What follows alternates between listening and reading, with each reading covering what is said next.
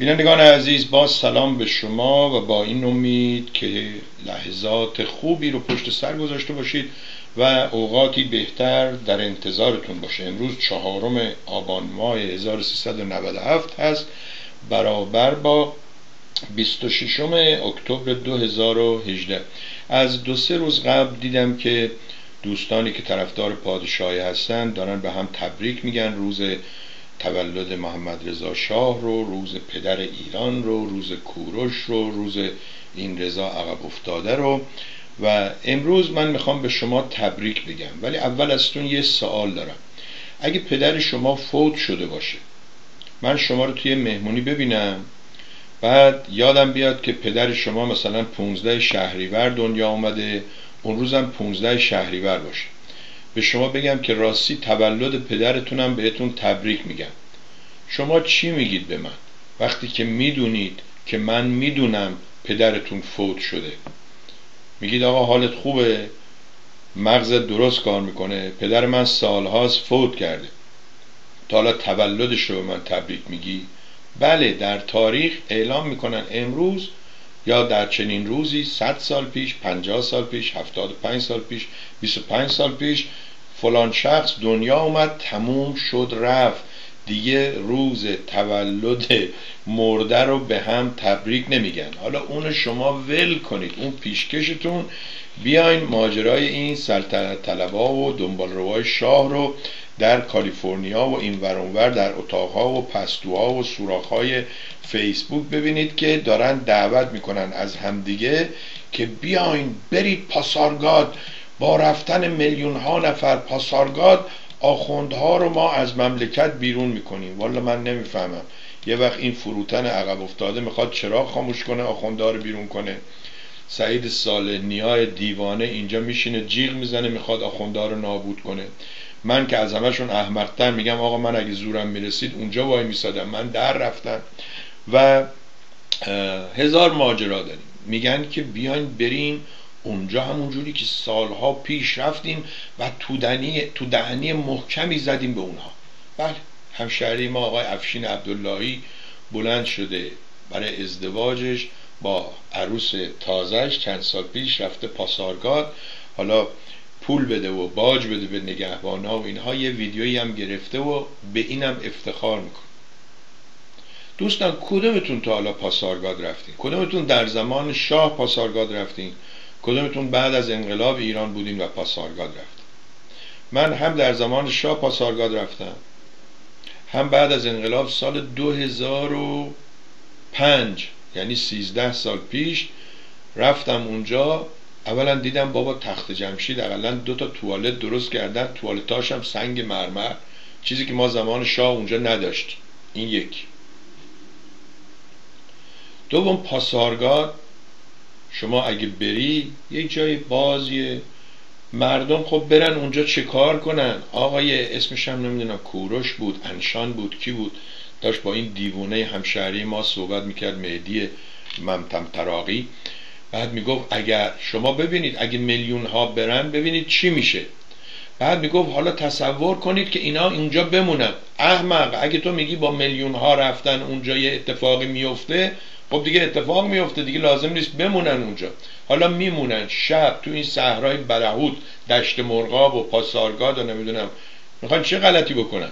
کی می‌خواد بهشون وسیله خوراک شام چادر اونم الان آبان که اونجا زورا گرمه شب که میشه سرد میشه. واقعا خجالت آور. می‌دونم خیلی از شما منتظر بودید که با آقای امیر آقای هوشنگ امیر صحبت کنیم. ایشون یادش افتاد که ساعت دو با تلویزیون کانال یک قرار گذاشته. به من گفت امکان داره ساعت چهار. منم فکر کردم که ساعت چهار برنامه آقای حسن ارشاده.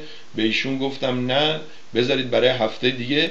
بعد یادم افتاد که آقای حسن ارشاد گفته دوستان فعلا اون پولی رو که باید بفرستن برای برنامه ها نفرستادن و ایشون هم انقدر حساب کتابش دقیقه که ما هرچی میگیم آقا شما برنامه تو بذار. اونا فرستادن حساب می‌کنیم. میگه نه آقا. اول پول بعدا سرویس. خدا پدرش بیامرزه. دیویست تا برنامه اینجا درست کرده. دیویس هفته شادم بیشتر چون بعضی از هفته ها ماه ها کار داشته. حالش خوب نبوده سفر بوده کار مغازه و اینها رو داشته.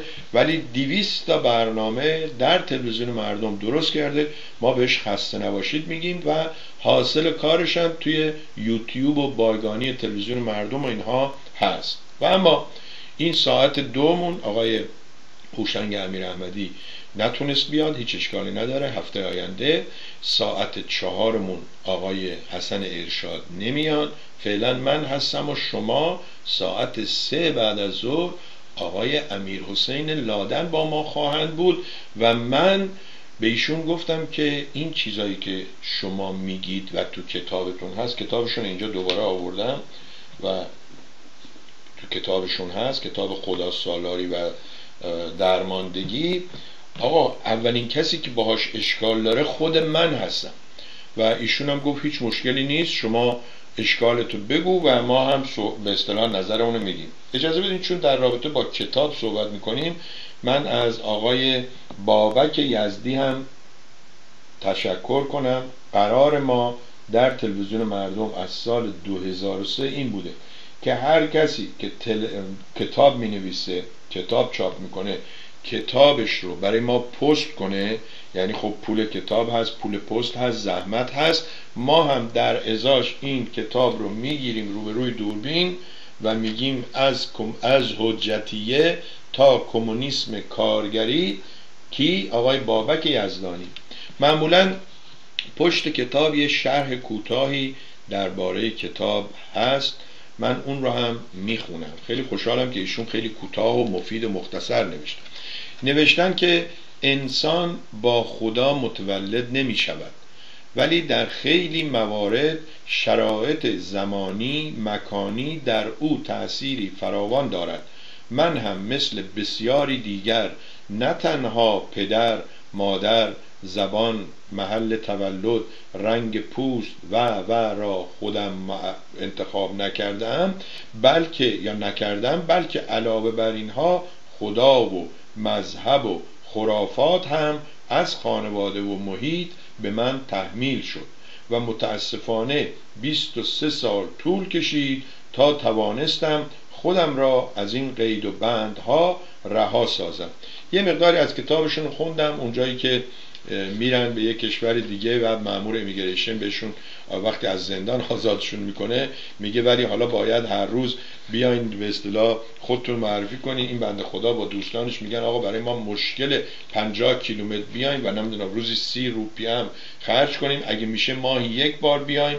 نتیجه اینکه ایرانیا حتی در بازداشتگاه و حتی در کشورهای خارجی و حتی در اداره مهاجرت دست از چانه زدن bargain یا haggle ور نمیدارن. به این نتیجه رسیدن که اون آقای officer یا افسر بهشون گفت که خب عیب نداره دو هفته یه بار بیان. یک مجله هست به نام Persian Heritage یا میراث ایران که آقای دکتر شارخ احکامی سالها این رو به چاپ میرسونن منتشر می‌کنن. حقیقتش بگم من اون اوائل که اینترنت و اینها یه مقداری کمتر بود خبرها کمتر بود وقتی اینا رو میخوندم خب یه چیزای جدیدی داشتم. ولی الان تنها قسمتش این قسمت انگلیسیش هست که این برای بچه هامون ممکنه خوب باشه برای دوستای آمریکاییمون خوب باشه و قسمت های ایرانیش حقیقتا وقتی به دست ما می‌رسه همه کهنه هستن چون این به صورت فصل نامه میاد. این چیزی که من به دوستان گفتم. شما اگر یه چیزی رو برای من میفرسین اون حافظ گفته ای که حسنش میگی این که عیبشو میگی حسنشم بگو. ما این کار رو انجام میدیم. بذارید من ببینم که این برنامه یوتیوب رو روشن کردم صدا هست یا نه؟ اینجا هست. بعد روی اون هم هست روی فیسبوک هم هست.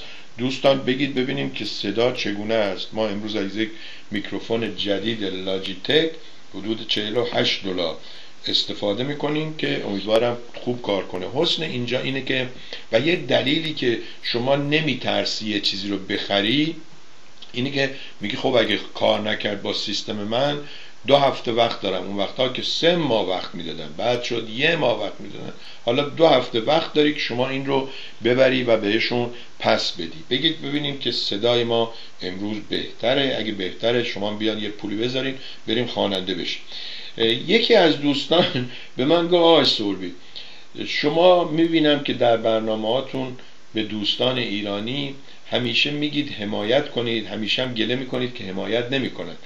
میشه توی برنامه ای بپرسید از اونایی که حمایت نمی‌کنن دلیلتون چیه که حمایت نمی‌کنید؟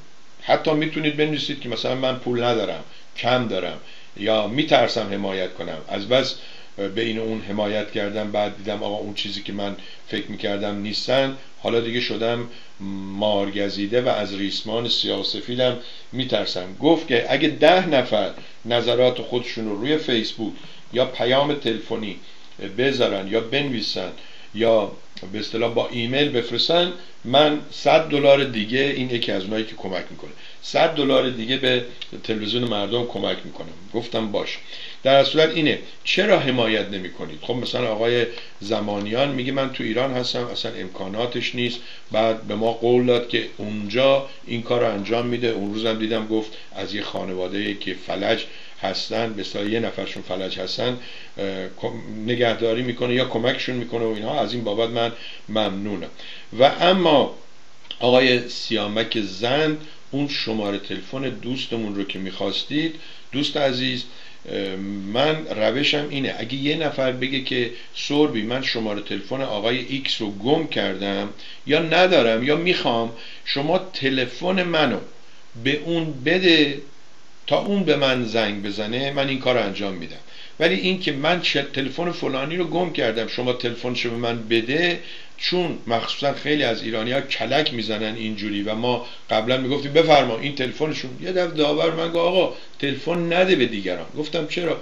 شما الان دیگه کسی 411 استفاده می‌کنه اینجا. یادتون اون وقتا تو ایران 08 بود 118 شد.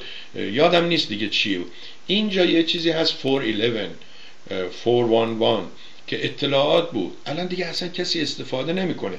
بعد شمایی که روی فیسبوک هستید از طریق فیسبوک با آقای انصاری می‌دونید شما رو کی می‌خواست.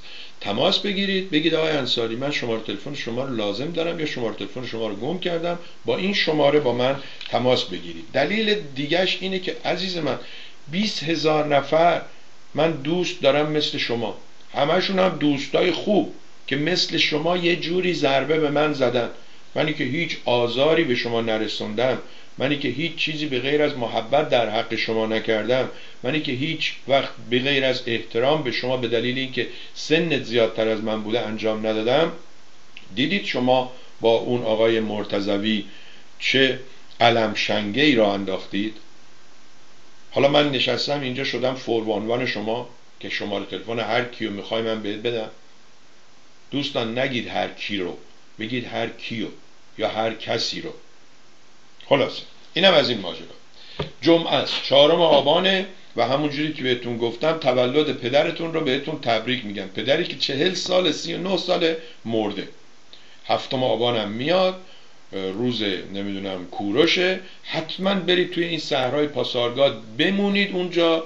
ولی عکس بهتون نشون میدم و شما به من بگید اشکال این عکس چیه. تا آخر برنامه وقت دارید که این عکس رو که من نشون میدم به من بگید که اشکال این عکس چیه. یک لحظه. یا اصلا بیارمش اینجا توی برنامه. کوروش سه. پاسارگاد. اینجا. بله player دو. شما این عکس رو نگاه کنید.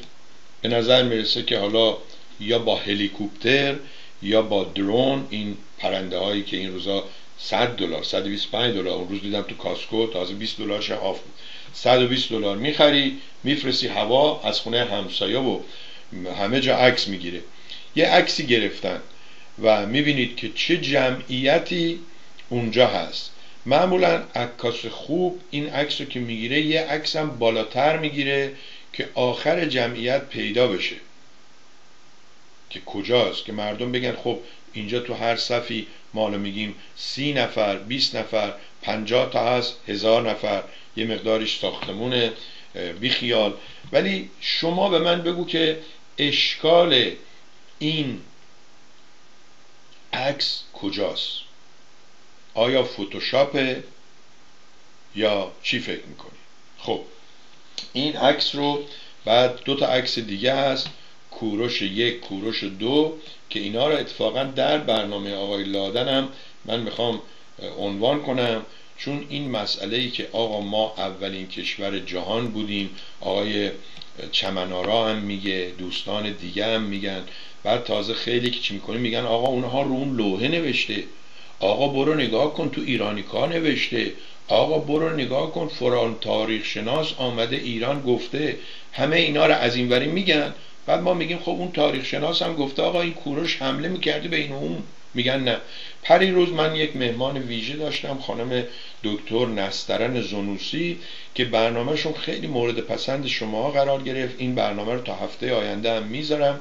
امیدوارم تا اون هفته تا هفته آینده خانم زنوسی بتونه از کسی کمک بگیره یه چند تا ویدیوی یک دقیقه ای دو دقیقه ای سه دقیقه ای چون این ما می‌خواستیم ده دقیقه صحبت کنیم ولی یک ساعت تقریبا برنامه طول کشیده و یک ساعت برای promotion یا برای تبلیغ یا برای آگهی یا برای پول جمع کردن یا برای کمک جمع کردن خیلی زیاده اگر کسی دیدم اون روز آقای نوروزی دیدم اون روز آقای دوستمون مجید آقا خوشنودی گفت اگر کاری هست ما انجام میدیم.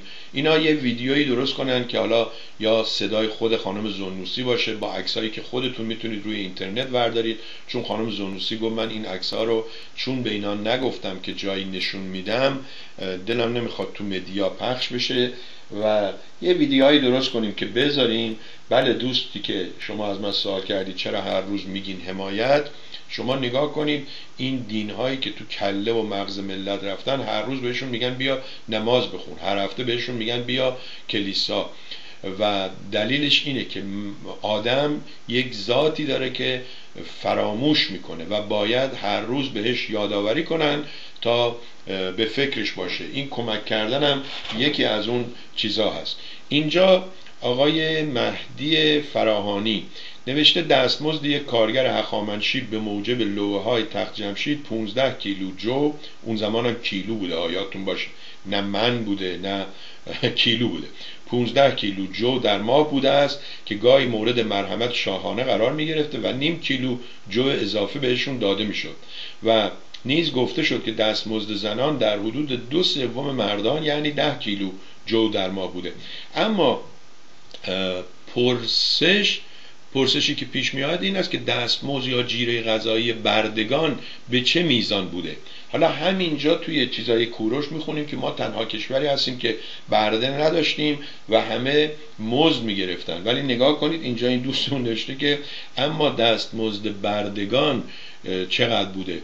بعد لوحه های حقامنشی نشان می‌دهد که دستمزد یک برده برابر با دستمزد یک زن یعنی معادل با 15 کیلو جو با بخشی 10 کیلو جو در ما بوده. در نتیجه می‌توان گفت که حقوق زنان حقامنشی با حقوق بردگان برابری می‌کرده.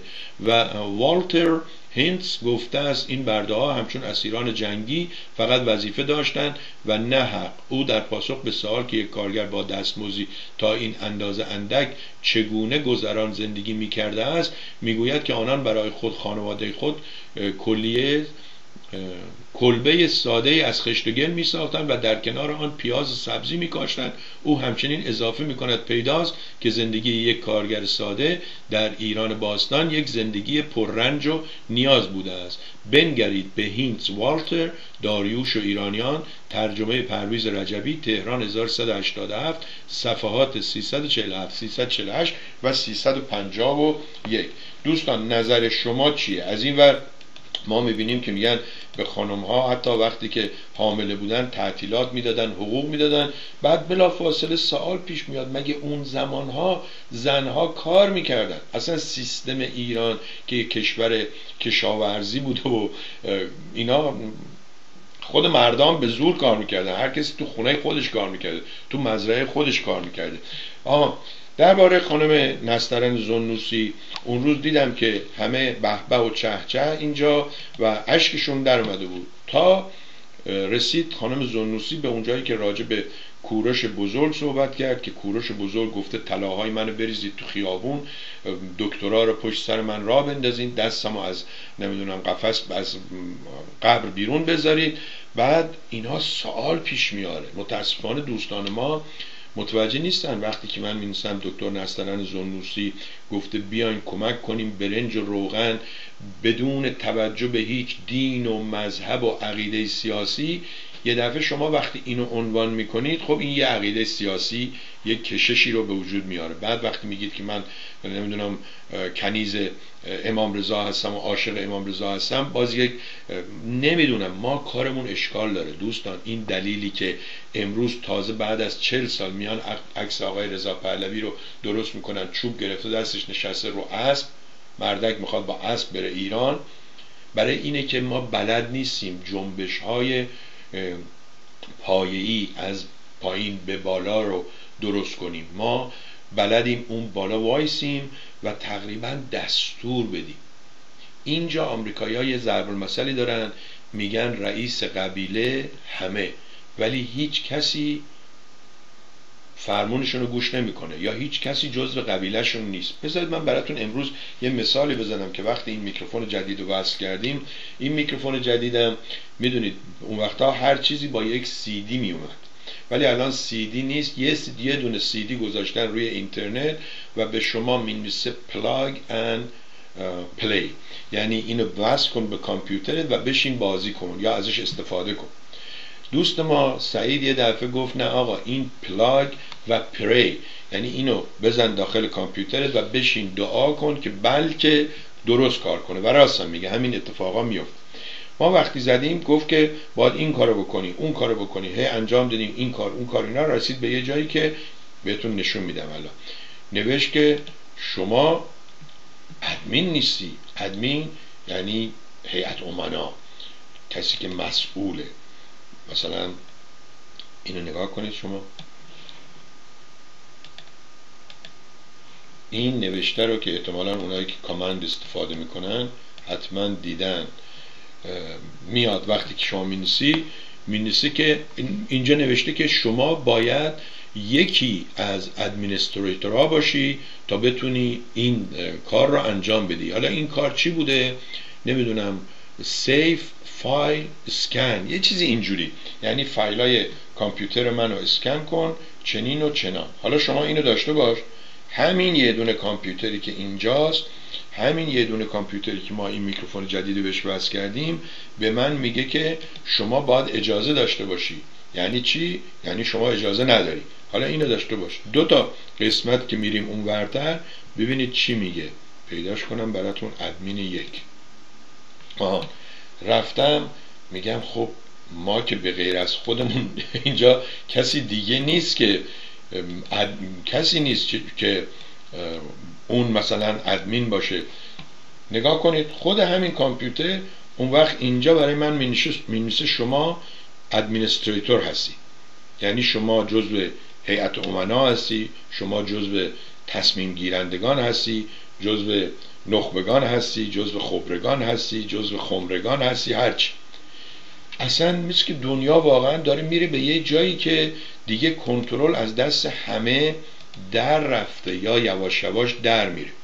خب آدم وقتی اینی می‌بینه یه کمی یا ها میگن frustrated عصبانی میشی. عصبانی هم نمی‌دونی از کی بشی به کی فوش بدی تو سر خودت بزنی موهای خودتو بکنی نگاه می‌کنی اینه دیگه مویی هم نمونده.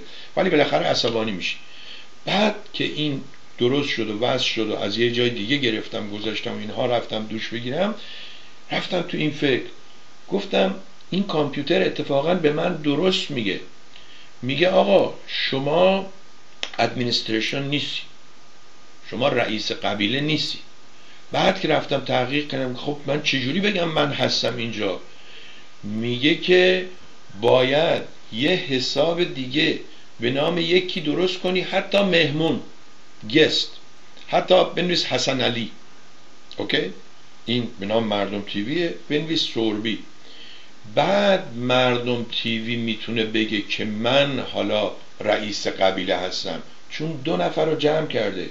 یکیش سوربیه یکیش مهمونه. همون موقع گفتم اشکال این جنبش های ما همینه. آقای فلانی میاد دبیر کل حزب فلان. آقای بیساری میاد رئیس هیئت امنای فلان. به هر کدومشون میگی آقا شما چند نفر عضو دارید؟ میگی ما که نمی‌تونیم بگیم این محرمانه است. حالا صدر رحمت به این آقای بابک یزدی که گفت ما هم عضو داریم هم در کنگره هایی که برقرار می‌کنیم اینقدر شرکت می‌کنن و این نماینده ها باید هر کدومشون حداقل نما... به اصطلاح نماینده منتخب ده نفر باشن. پس اگه دیویس نفر شرکت می‌کنن حداقل دو هزار نفر ما عضو داریم. خب این بماند ما طبق معمول همیشگی میایم برای اونایی که اسمشون آوردیم و اینها می‌نویسیم که آقا خانم ما اسم شما رو آوردیم شما اگه بخوای می‌تونی حرف بزنی. بعضی وقتا حتی از قبل اگه بدونیم راجع به یکی می‌خوایم صحبت کنیم می‌نویسیم. مثلا امروز باز برای این سالینه یا صالحینی های دیونه نوشتم که من امروز درباره تو صحبت می‌کنم. و اون روز وقتی با آقای بابک یزدی صحبت کردیم آقای بابک یزدی گفت اینو اخراج کردن و فلان اینها. بعد من برای این نوشتم. این برای من نوشت که شما با ایشون صحبت کن. صداشم ضبط کن برای من بفرست. گفتم هوش سب کن. معمولا به آدم نمیگه آدم هوش به حیوان میگه هوش. اینم دستکم از حیوان نداره. گفتم هوش افسارش گرفتم. گفتم سب کن. مگه من اینجا نوکر تو هستم؟ مگه تو اینجا تهیه کننده برنامه هستی. من مجری هستم. حقوق به من میدی که به من یک فولدر دادی صفحه اول. با آقای بابک یزدی تماس بگی صفحه دوم دستگاه جاسوسی را روشن کن صدای او را ضبط کن. صفحه سوم صدای ضبط شده او را برای من بفرست. مردک دیوانه. من دارم بهت میگم که اینا اینجوری گفتن و به تویی که امروز هیچ جا دیگه بهت نه میکروفون میدن نه هیچ دوستی برات باقی مونده من می‌خوام میکروفون بدم که بیای صحبت کنی. بعد نوشت که بله من هم او را می‌شناسم هم تو را می‌شناسم تو شالاتان هستی. من پیش خودم فکر کردم گفتم که من اینو همسرشو این بهبانی معتاد اتفاقا یک پیام گذاشته که من هندی هستم از کراچی. حالا یا جغرافیای این دوستمون بده که نمی‌دونه کراچی مال هندوستان نیست مال پاکستانه.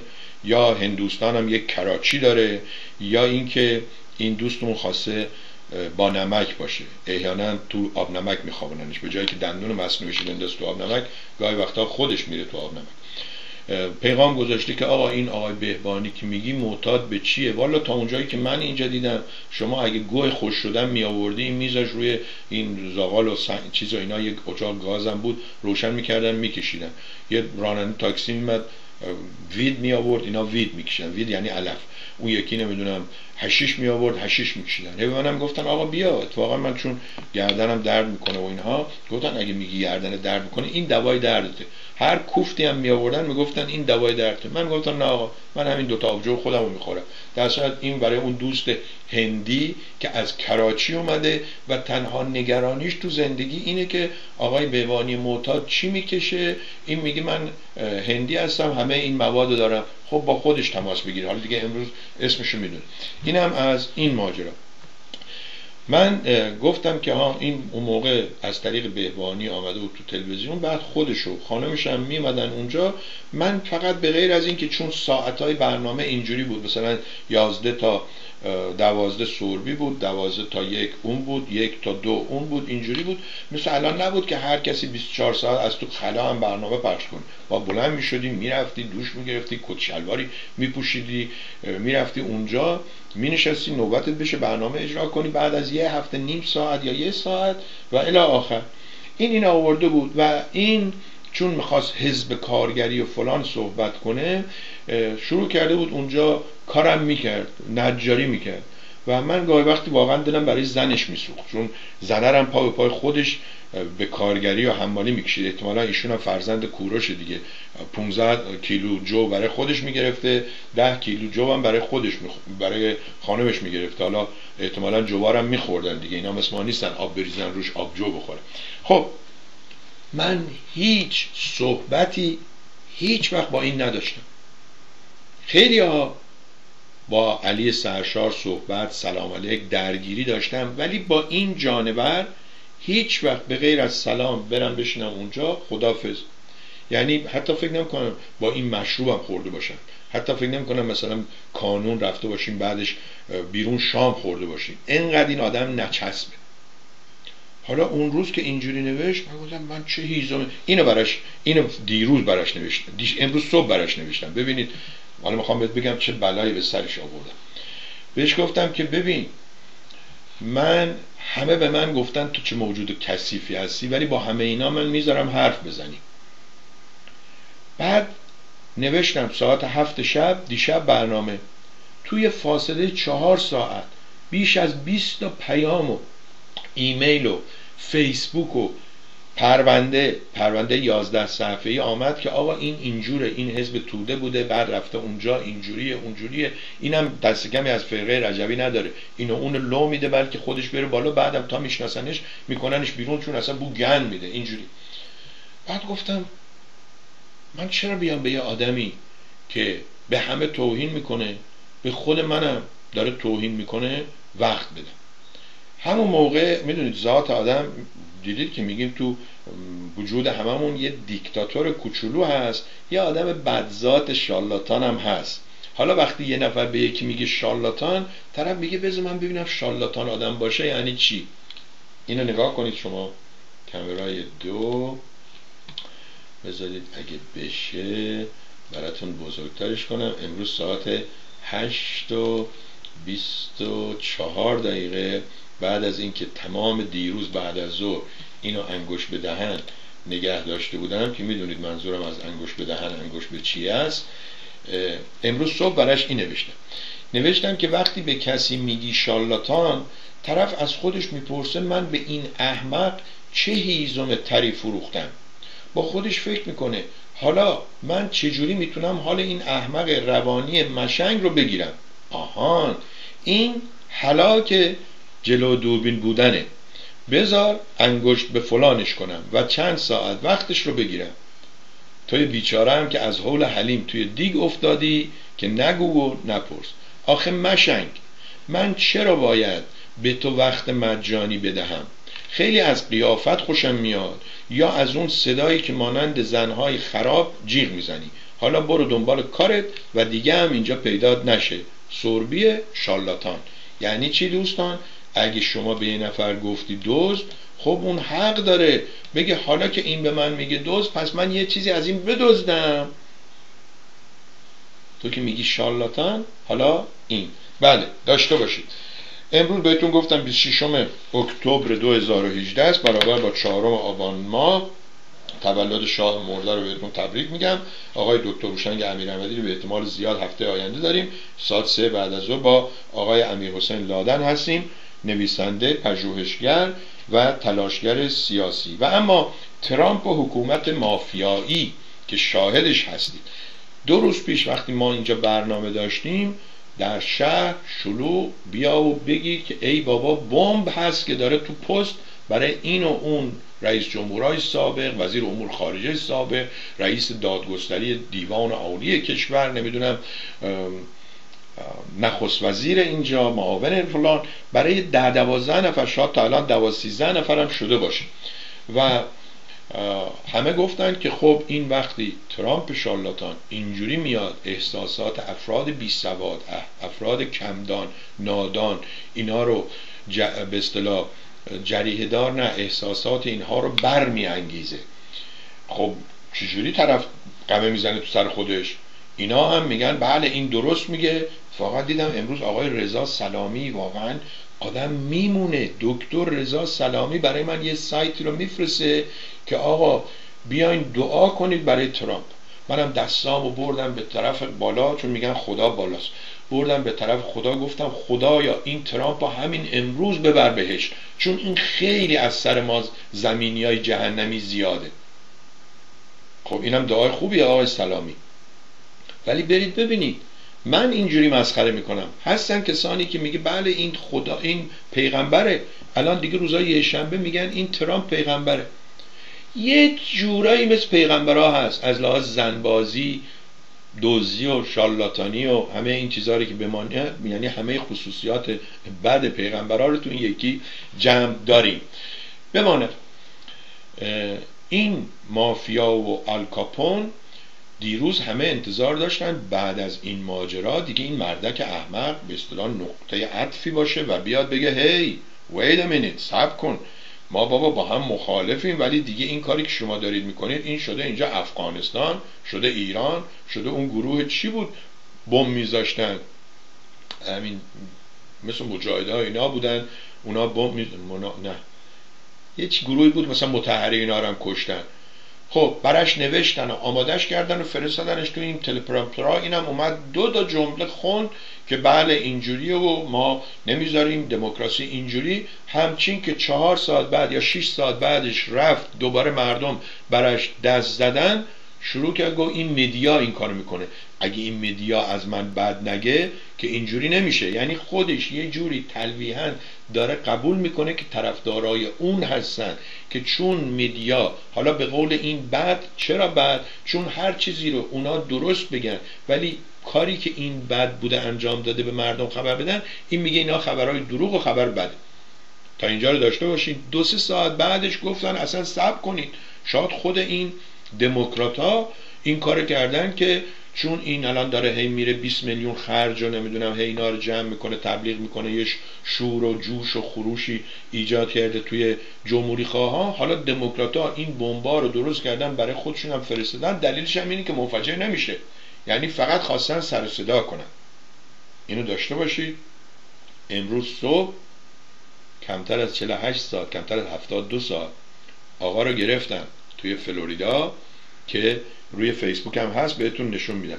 گروه فرغان. خیلی ممنون آقای افراخته مجید از آلمان. گروه فرغان. بله. اینجوری هم دیگه. اینا هم راه افتادن سیستم آلکاپون سیستم گروه فرغان و این احمق هم به هیجان آمده. حالا احتمالا پس فردا هم میگن که آقا اینم مریض روانیه. اینم مثل اونای دیگه. اینجا سفید پوستا اگر قتل و جنایت کنن نمیگن این یک مسیحی سفید پوست بود و اینجوری سیاپوست بدبخت باشه فوری میگن سیاپوست مسلمون باشه که دیگه وا مصیبت میگن مسلمون بود و اینا همشون میگن روانی هن. کم کم داریم به این نتیجه می‌رسیم که این سفید ها همشون روانی هن. اگه روانی نبودن دنبال طرفدار ترامپ نبودن اینم از این ماجرا و اما ترامپ و حکومت مافیا دیروز توی رادیو تلویزیون گفته می‌شد که دیگه رسیده به حد انفجار. این ده دوازده روز الان مونده ششم نوان اینجا الان ششم چهار روز شش ده روز مونده به انتخابات. میگن اینم به خیر بگذره بره. البته یه ترس و نگرانی هست چون ترامپ گفته اگه ما بازنده بشیم ما میریزیم تو خیابون. باورتون میشه؟ یه نفر بیاد بچه ها دیدی با هم بازی می‌کنن؟ تا اونجایی که می‌بره خوشحاله. وقتی داره میبازه می‌زنه زیر بازی بازی رو به هم می‌زنه. عین بچه ها میگه اگه ما ببریم خب انتخابات ما بردیم. برید دنبال کارتون دیگه. ولی اگه ببازیم تقلب بوده. اینم سیستمی که آقای سلامی و آقای امیر احمدی به تازگی می‌بینم طرفداری ترامپ می‌کنه که دلیلش رو من نمی‌دونم. و سوال برمیانگیزه که آیا به زودی شاهد جنگ داخلی خواهیم بود؟ جنگ های داخلی رو تو آمریکا میگن سیویل وار اینجا حدود 150 هزار 150 سال قبل تقریبا این جنگ اتفاق افتاده و هزاران نفر کشته شدن. بذارید من ببینم که این سیستم ضبطمون هم کار می‌کنه. بله امروز همه چی رو هست فقط ما اون تلفن رو خاموش کردیم. تلفنی که با شماره 605 شما زنگ می‌زدید و می‌گرفتید. چون ما اینجا یه کامپیوتر هم حتی سعید خرید و گذاشتیم اینجا 24 ساعت هم روشن. هی هم برنامه عوض کن سویچ کن.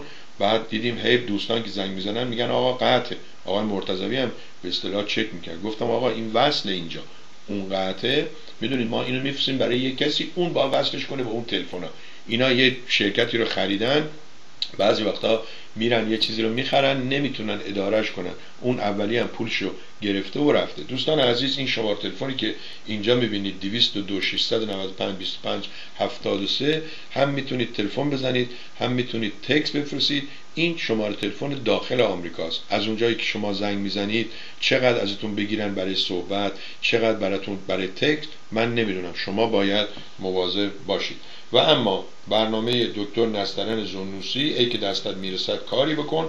برنج و روغن در زمستان ایشون توضیح داد. اونایی که میگن ما می‌خوایم مدرسه بسازیم می‌خوایم ما دانشگاه بسازیم فلان اینا طرف باید اول سیر باشه تا بتونه بره مدرسه. چون اگه گرسنه بفرستی سر مدرسه حواسش توی خواب مرغ و نمی‌دونم نون و برنج و ایناست.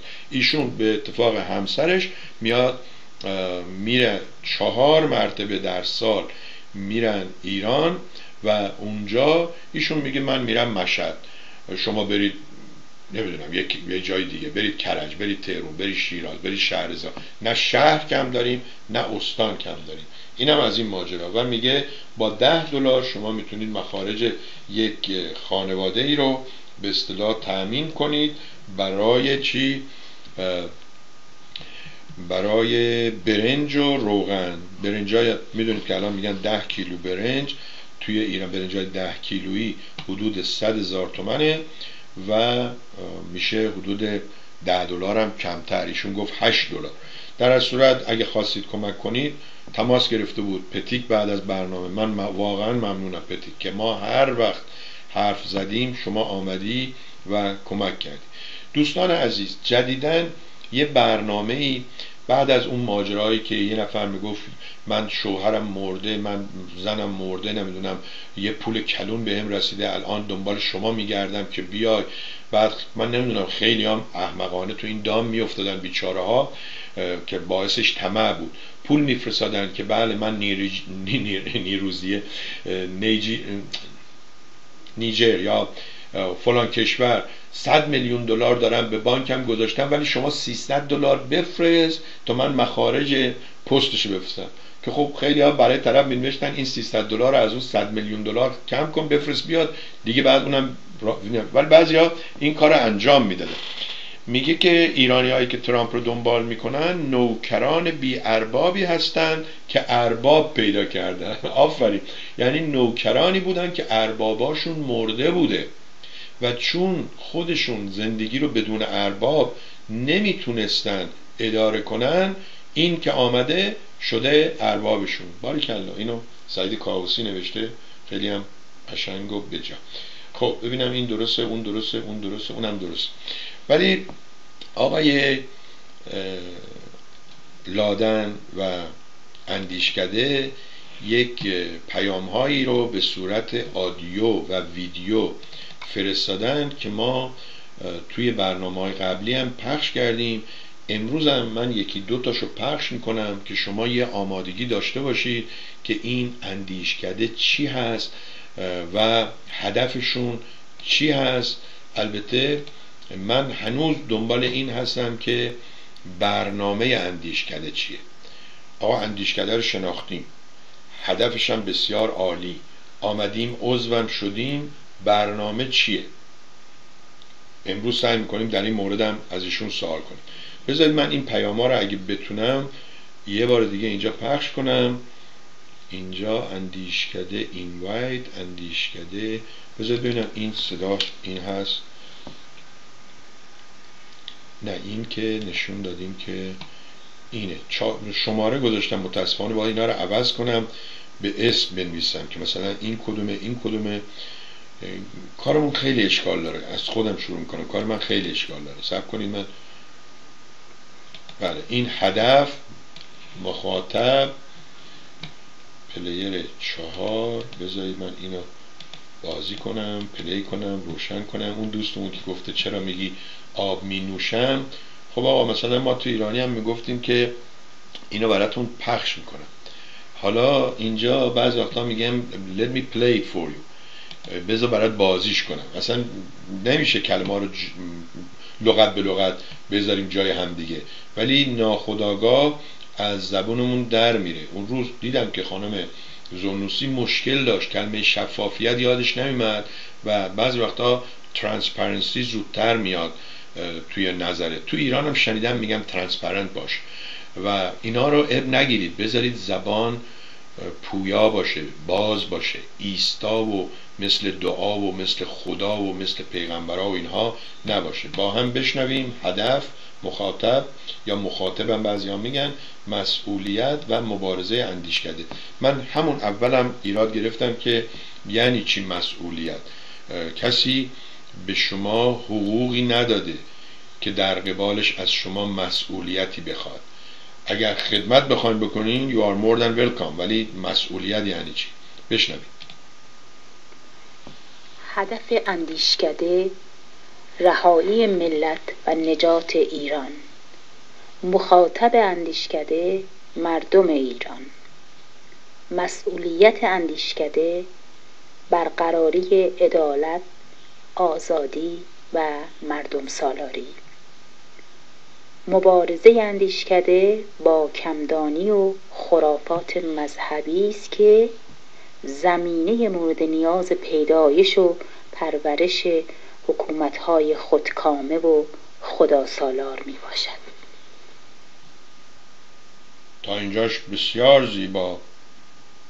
اگر ویدیو یا آدیویی هم دوستان بفرسن که توش برنامه ها رو بگن.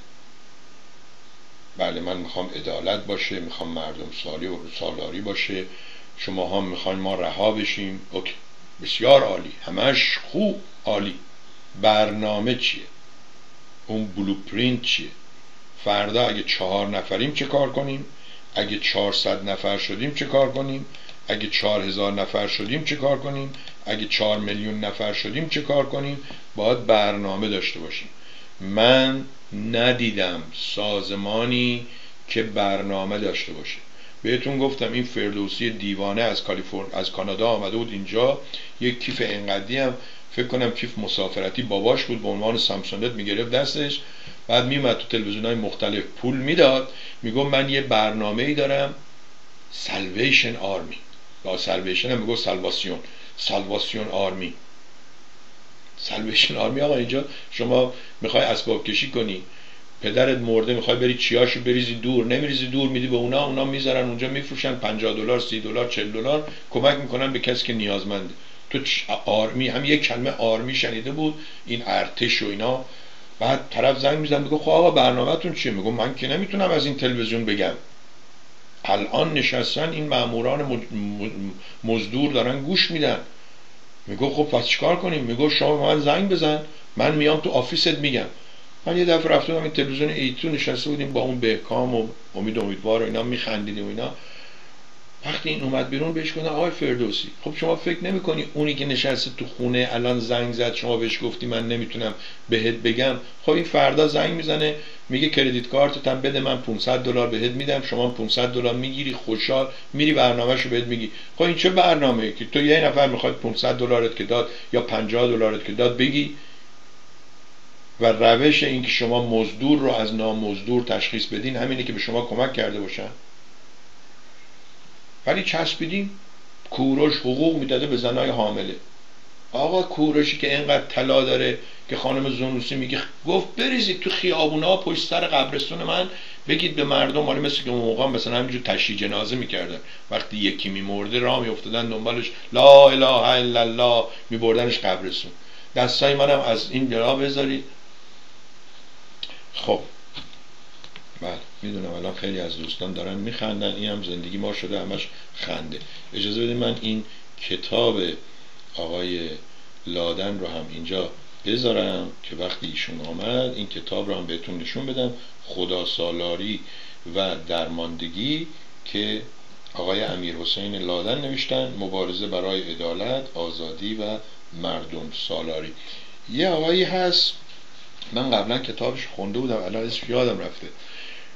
که به شما به اصطلاح نشون میده چجوری جنبش را بندازید حرکت ها چجوری باشه. اگه می‌خواین حرکت مسلحانه باشه اون میگه من اصلا وارد نیستم برید دنبال گروه های دیگه.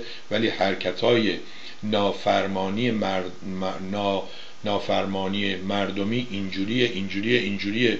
نمونم میاره براتون گاندیه نمی‌دونم مارتل لوتر کینگ آقای رضا پهلویه. امروز فقط اتحاد فردا فقط اعتماد.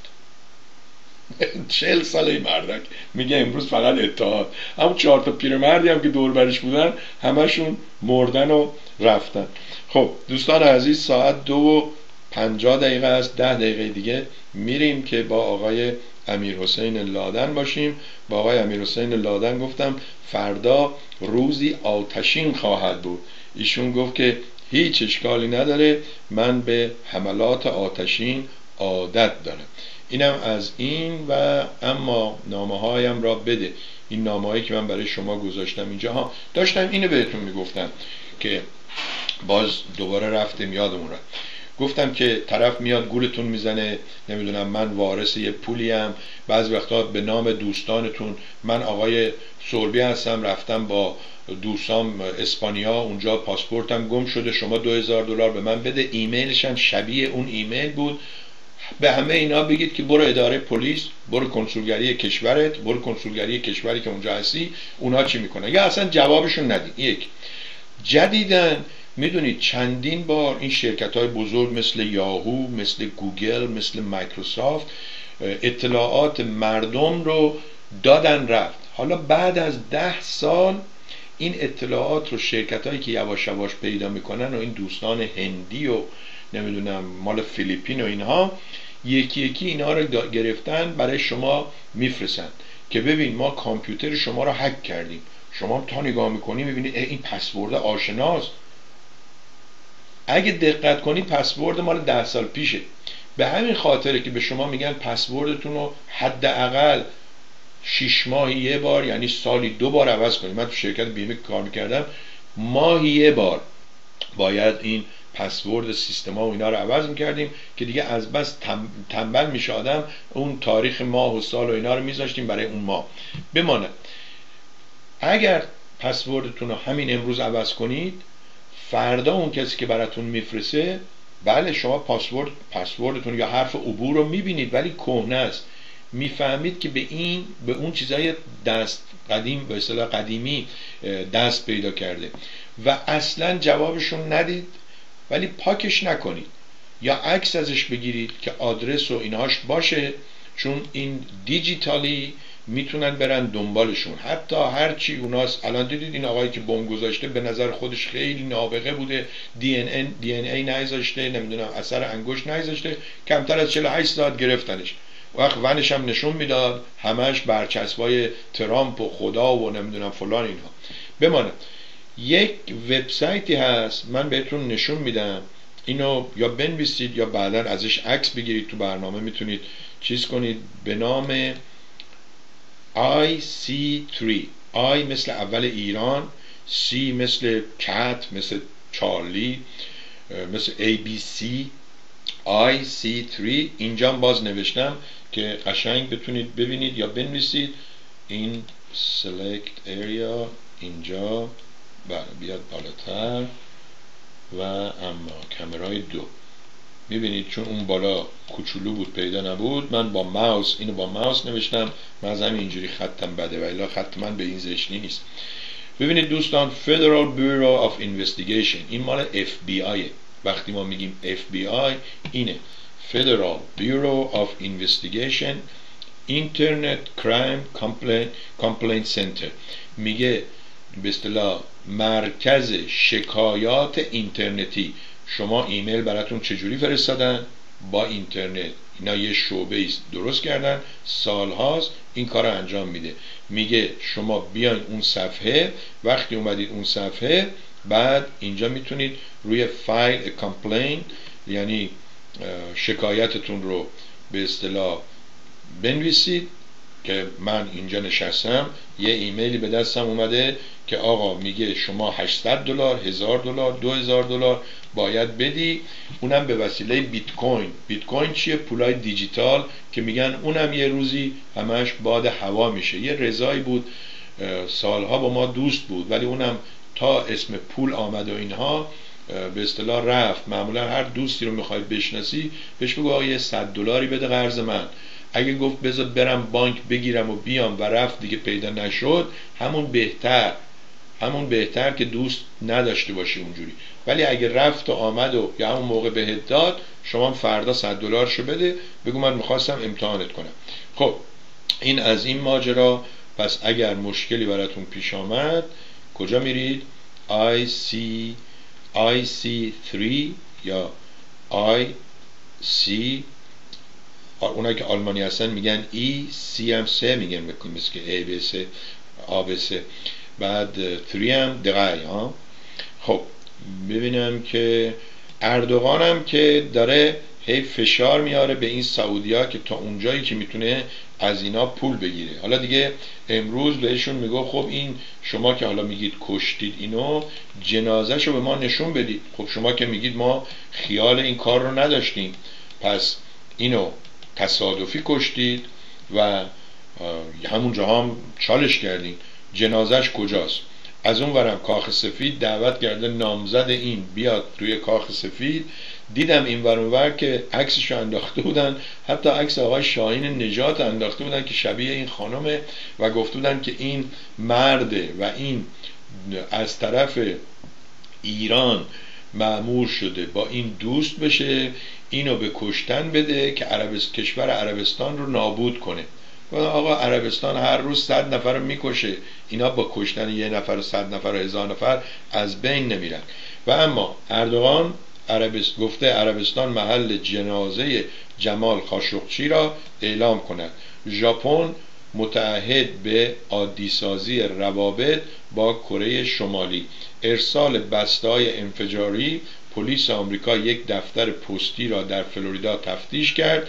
این مال دو سه ساعت قبل بوده قبل از اینکه بعد از اینکه اونجا رو تفتیش کردن و به اصطلاح چیز کردن طرف رو گرفتن. اون کسی رو که فکر می‌کنن این نامه ها رو چک کرده و اینها البته ناگفته نماند. چندین سال پیش اینجا یه نفر دو نفر یک نسبتا مسن میان سال با یک بچه 17 ساله با ماشینشون می‌رفتن مردم رو شوت می‌کردن به صورت تک انداز از توی کاپوت ماشینشون.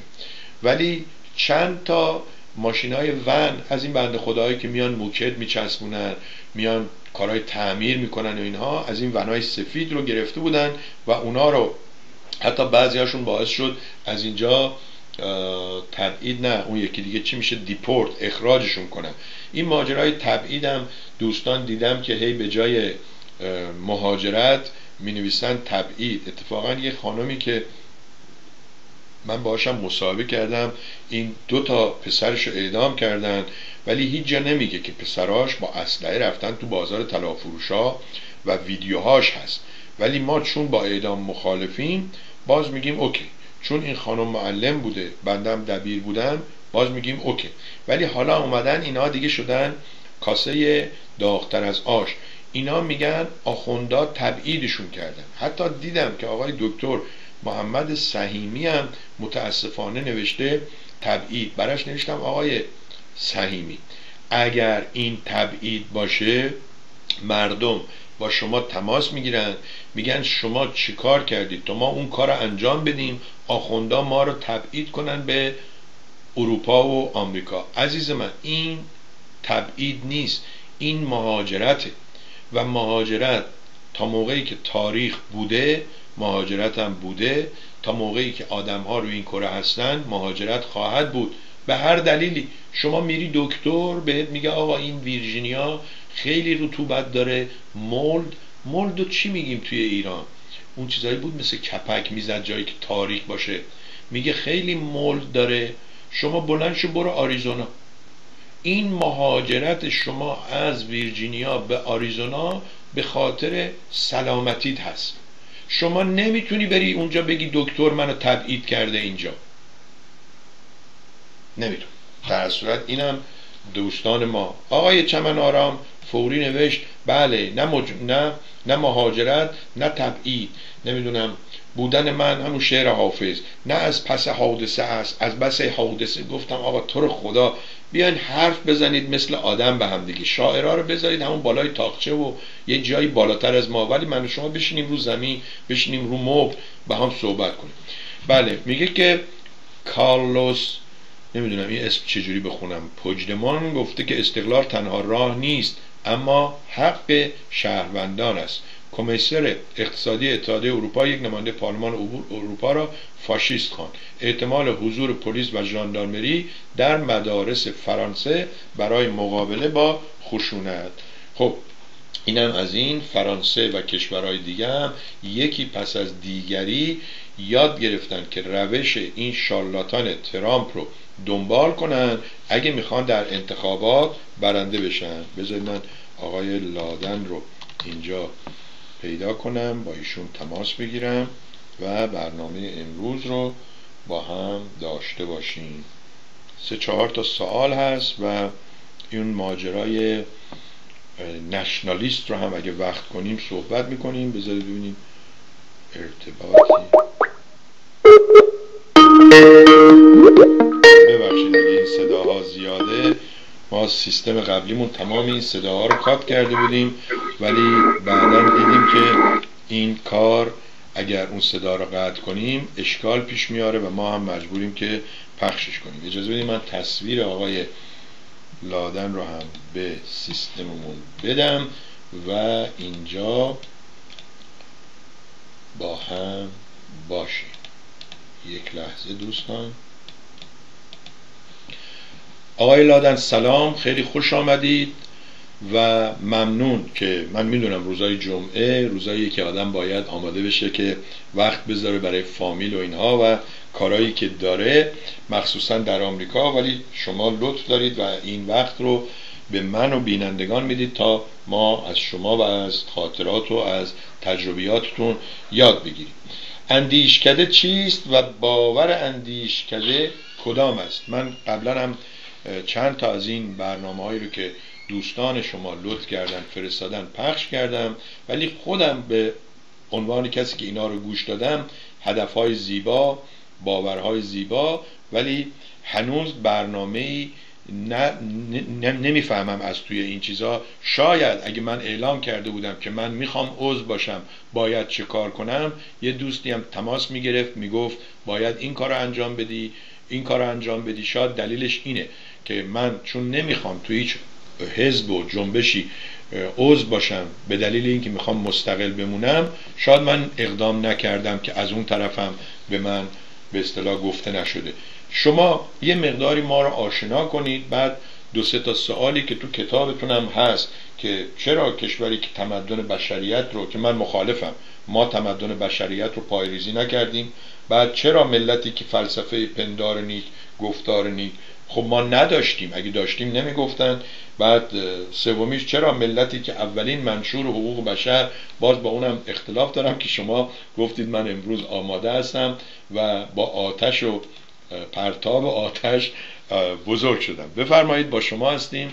دوستان با آقای امیر حسین لادن هستیم که روی فیسبوک هم به نام امیر اچ لادن هستن. من تصویر صفحه فیسبوک ایشون رو هم در حین صحبت ایشون نشون میدم. بفرمایید. درود بر شما و درود بر بینندگان. جالبه که در ضمنی که اون پرسش هایی رو که من مطرح کردم مطرح می‌کنین برا فاصله بهش یه حمله کوچولو هم می‌کنین. ولی صد درصد در موردش باید گفتگو کنیم بیشتر بینندگان تلویزیون مردم با نام اندیشکده آشنا هستند و پیش از گفتگو در مورد پیدایش باور اهداف و راه اندیشکده می‌خواستم چند نکته در مورد ارزش و اهمیت پرسیدن و مسائل و مشکلات و زیر پرسش بردن با هم مرور کنیم. داستان رهایی از زندان قصر بازگشت به آمریکا سرخوردگی انزوا و طرح پرسش چرا انقلاب عدالت خواهی و آزادی طلبی ملت ایران به کجراه مذهب کشیده شد و به چاه فقاهت سقوط کرد و قبل از این در موردش گفتگو کردیم. این پرسش که چرا انقلاب به کجراه کشیده شده بود زندگی و هستی منو در بر گرفته بود و تحت شعا قرار داده بود. و رفتم دنبال مطالعه و پژوهش هرچی بیشتر جستجو می کردم تعداد پرسش ها اضافه می شد تا در یک زمانی برخوردم به اون سه پرسشی که الان شما مطرح کردین. و برای من کتاب خدا سالاری و درماندگی پاسخی بود به اون سه پرسش. شما بهش اشاره کردین فکر کنم نیاز نباشه تکرارش کنم. ولی در حقیقت در چارچوب عقل و منطق نه به صورت یک چیز صد درصد. به صورت نسبی در زمان خودش این چیزها وجود داشته. حالا میگم بالا پایین یه مقداری از واقعیت ها با افسانه مخلوط شده. ولی در چارچوب عقل و شعور و در چارچوب اون اکتشافاتی که باستانشناسان کردن و این اطلاعات جمع آوری شده این چیزها همونطوری که عرض کردم به صورت نسبی وجود داره و ما می‌تونیم روی این بسازیم. خیام سینا و زکریا رازی برای آموختن و آموزش دادن همه مسائل رو زیر سوال می بردن یکی از گفته های بسیار مشهور و معروف زکریا رازی اینه که میگه عقل بزرگترین موهبت الهی است به انسان. در پرتو خرد ما حتی نیاز به انبیا یعنی پیغمبران نداریم. اینو 1100 سال پیش میگه زمانی که پوست انسان رو زنده زده میکندن اگه در مورد دین چیزی بگه. یکی از در زم مذر می‌کنم اینجا گم کردم که کجا بودم. یه پرسش هم اینجا هست در مورد سقرات و عرستو که همیشه نخست با طرح پرسش و سپس با جستجو و گفتگو منطق و خردگرایی رو میاموختن و با طرح پرسش به دیگران آموزش می‌دادن یکی از پرسش های سهرات این بود که می‌گفت آیا پادشاه فیلسوف یا فیلسوف پادشاه مورد نیاز است تا در پرتو دانش و خرد به بزرگی و عظمت دست پیدا کنیم؟ ارسطو میگفتش که همه می‌دانیم که هر جامعه ای دارای رهبر فرماندار و پیرو فرمانبر می باشد می گفت پرسش اینجاست که این سیستم تب... تبادل پذیر است. آیا می‌تونیم جای رهبر و, و پیرو رو با هم عوض کنیم؟ یا اینکه رهبر همیشه رهبر. یک ضرب المثل یک زبانزدی هست که میگه بدون طرح پرسش درست به پاسخ درست نمی‌رسیم. حقیقت اینه که باید از گذشته بیاموزیم از تجربیات بزرگان درس بگیریم. اندیشکده آگاهی و شناخت در پاسخ به اعتراضات ده سال پیش رأی منکو در انتخابات رئیس جمهوری و با پرسش چه باید کرد پا به عرصه وجود گذاشت. می‌بینیم که هم کتاب خدا سالاری در پاسخ به پرسش هم اندیشکده در پاسخ به پرسش چه باید کرد. با در نظر گرفتن اوضاع دردناک مالی مردممون در ایران فقر و درماندگی عمومی اقتصاد ورشکسته که نتیجه مستقیم فساد فراگیر و عدم کارایی دست در, در کاران رژیمه اکثریت هم میهنانمون خواستار تغییر رژیم و براندازی هستند فکر کنم در این تردیدی نباشه. هم میهنان خارج از کشور نیز البته به جز مزدوران همه به دنبال براندازی هست می‌تونیم این نتیجهگیری کلی بکنیم با اون اینه که هدف مشترک دارید هممون دنبال براندازی هستیم. ولی آنچه بین ما شکاف ایجاد کرده و ما رو از یکدیگر جدا ساخته راه و روشمان در براندازی و پاسخمان برای جایگزینی و آینده سازی است. اندیشکده آگاهی و شناخت در ضمنی که رهایی مردم و نجات ایران رو در براندازی می‌دانند بر این باور است که رهایی و رهایی مردم و نجات ایران نه در اصلاحات رژیم فقاهتی نه در رفراندو عوام فریبانه نه در بازگشت سلطنت نه در حمله نظامی به ایران و نه در گروه ظهور قهرمان ملی است. ما در ایران تمام این راه ها رو طی کردیم. نتایج تخریبی و بازدارندش رو با پوست و استخونمون لمس کردیم و چوبش رو خوردیم. انجام موفقیت آمیز هر کار یا حرکت نیاز به برنامه مشخص و هدفمند داره و نیاز به آگاهی و شناخت. یک اشاره می‌خوام بکنم به سپهبد رزمارا که در مورد برنامه و هدف در خاطراتش می نویسه مسائل و کاستی های ارتش بیش از آنکه به مسائلی چون کمبود وسایل و تجهیزات مربوط باشند مسائلی بودند ناشی از فقدان اینو گذاشته تو گیومه فکر همکاری و مبذول نشدن سعی و کوشش لازم در رفع این مشکلات. ولی اینجا فکر همکاری رو باز می‌کنه. میگه فکر همکاری یعنی داشتن هدف مشترک دور برنامه های هدفمند. چنانچه هدف هدف مشترک داشته باشیم یعنی منافع مشترک منافع جمع که در نتیجه به منافع ملی می‌رسد. برای آگاهی بینندگان رزمارا هشت ماه و سه هفته در سال 1329 نخست وزیر بود و به دست خلیل تحماسبی که عضو فدایان اسلام بود با شلیک سه گروله کشته شد. رزمارا از افسران مطلع و آگاه بود.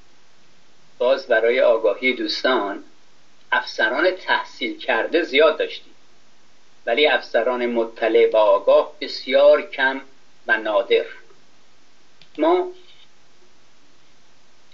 ما ایرانیان طی صد سال گذشته دو انقلاب سرنوشت ساز و یک جنبش فراگیر ملی داشتیم یه نهضت فراگیر ملی.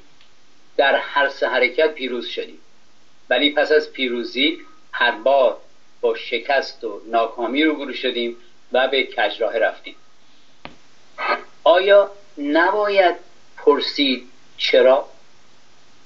نباید بیاموزیم چه شد و چگونه بود که به جای دستیابی به اهداف انسانی دستخوش دیکتاتوری و گرفتار خودکامگی شدیم؟ اندیشکده بر این باور است که هیزم زندگی جهنمی در ایران کمدانی بیدانشی و بیبینشی سیاسی ماست. یه اشاره می‌کنیم به یک افسر دیگه سپهبد پالیزبان یک یکی دیگر از افسران مطلع و آگاه ارتشه در لابلای خاطراتش مرتب به آموزش و آگاهی اشاره می‌کنه و می‌نویسه ملت تقصیری ندارد. این متصدیان هستند که باید در بین برنامه های تلویزیونی و رادیویی به وسیله دانشمندان و استادان برجسته ملت را هوشیار و آگاه سازند. در رابطه با استعمارگران می نویسه می دانیم همباره دانش بر جه حکرانی می کند آیا هرگز دیده اید یا خانده اید که یک کشور عقب افتاده یک کشور پیشرفته را استثمار کنند؟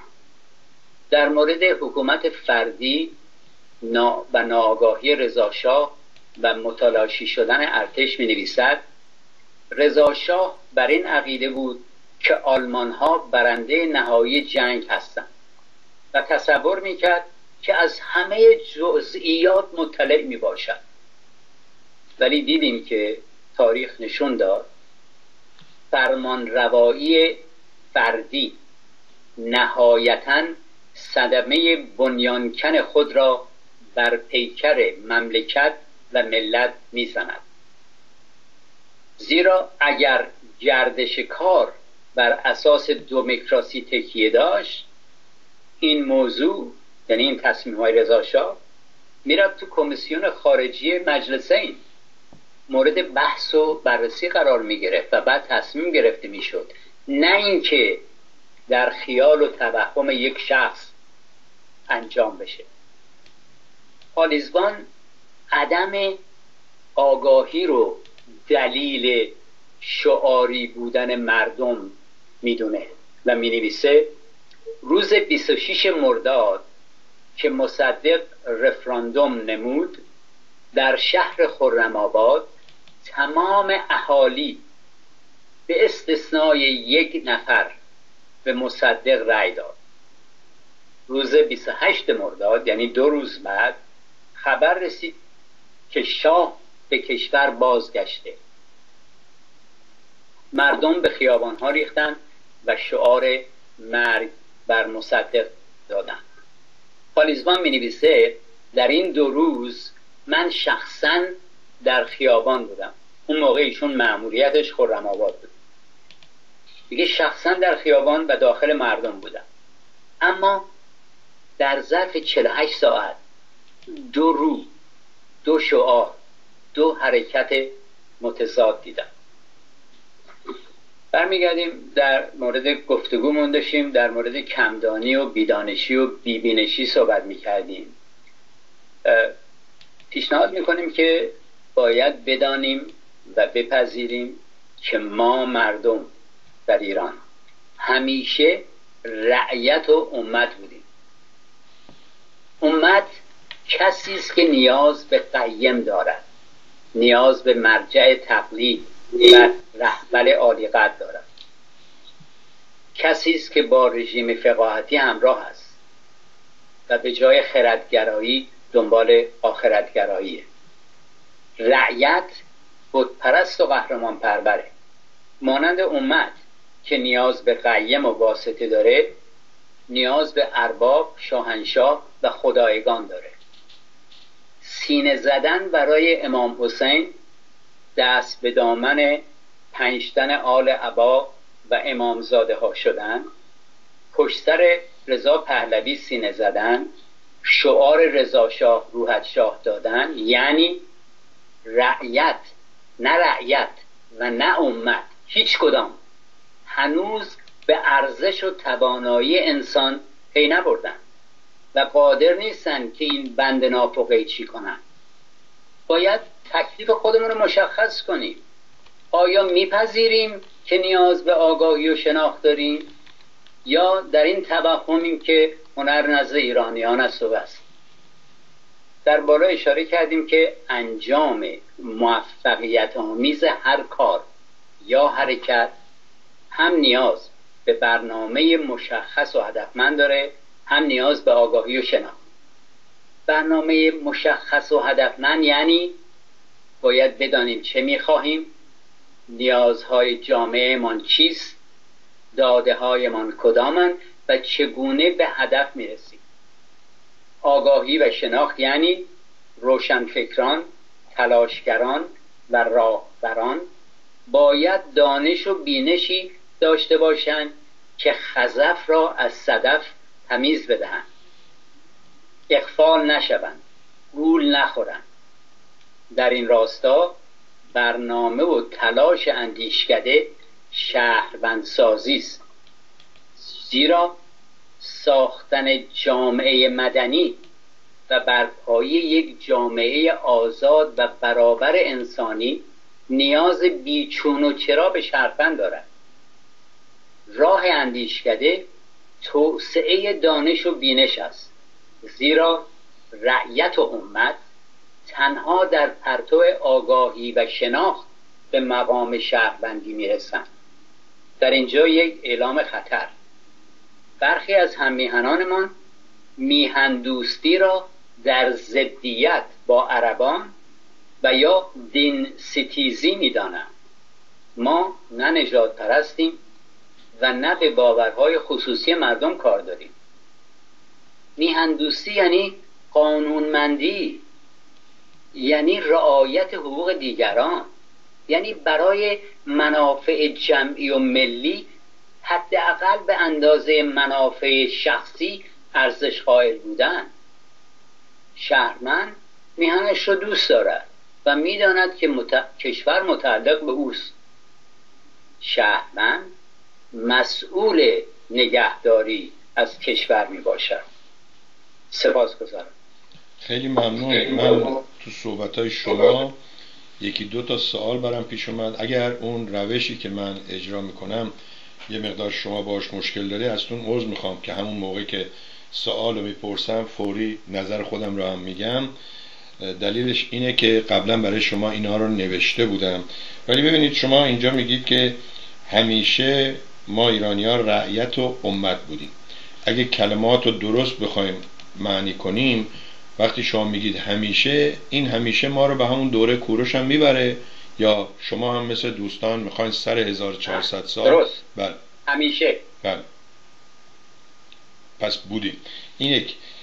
بعد شما گفتید که پرسش درست و اگه نباشه به پاسخ نمی‌رسیم. یا اینکه آیا میشه جای رهبر و پیرو رو عوض کرد؟ باز یه جای دیگه شما گفتید که این برنامه و کتابتون و این فکر موقعی شروع شد که مردم اون ماجرای رأی منکو سال 1388 رو گفتن.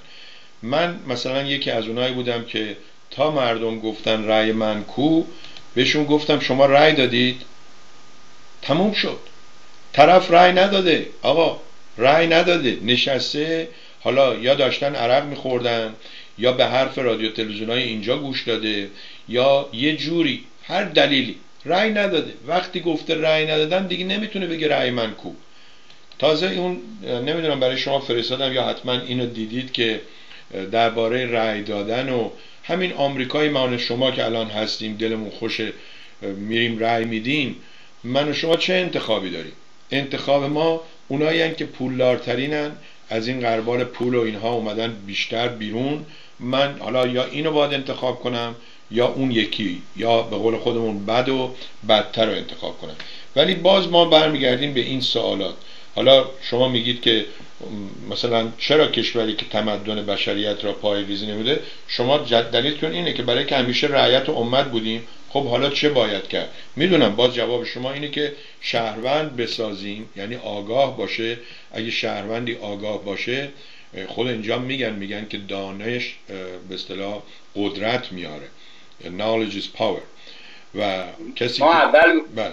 ما تنها اولین کشوری بودی که اون حرف زدیم. گفتیم تبانا بود هر که دانا بود.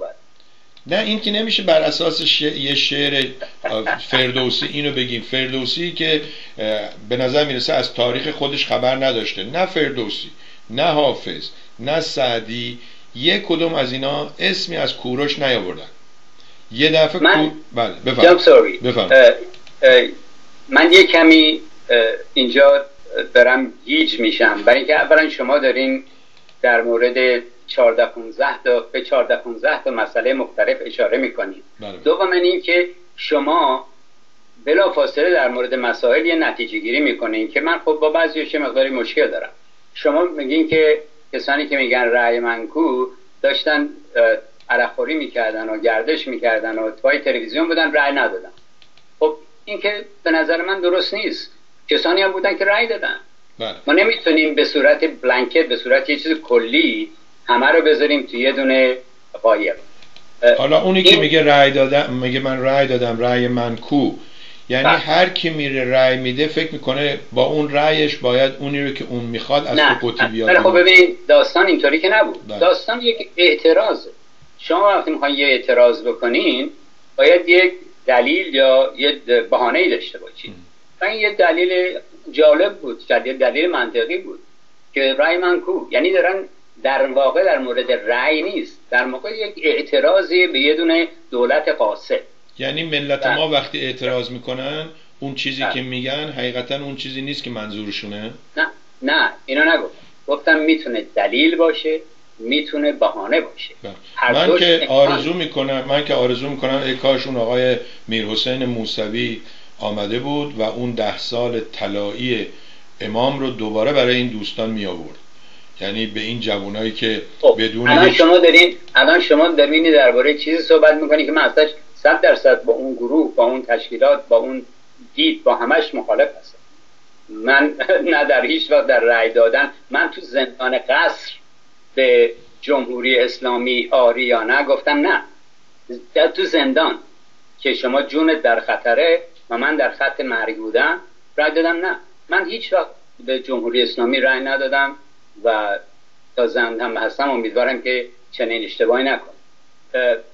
من با موسوی و با کروبی با تمام با تمام عاملهای جمهوری اسلامی و رژیم فقاطی مخالف هستم. در اینکه من مخالف قانون اساسیشون هستم. قانون اساسیشون همش در چارچوب ولی فقیه.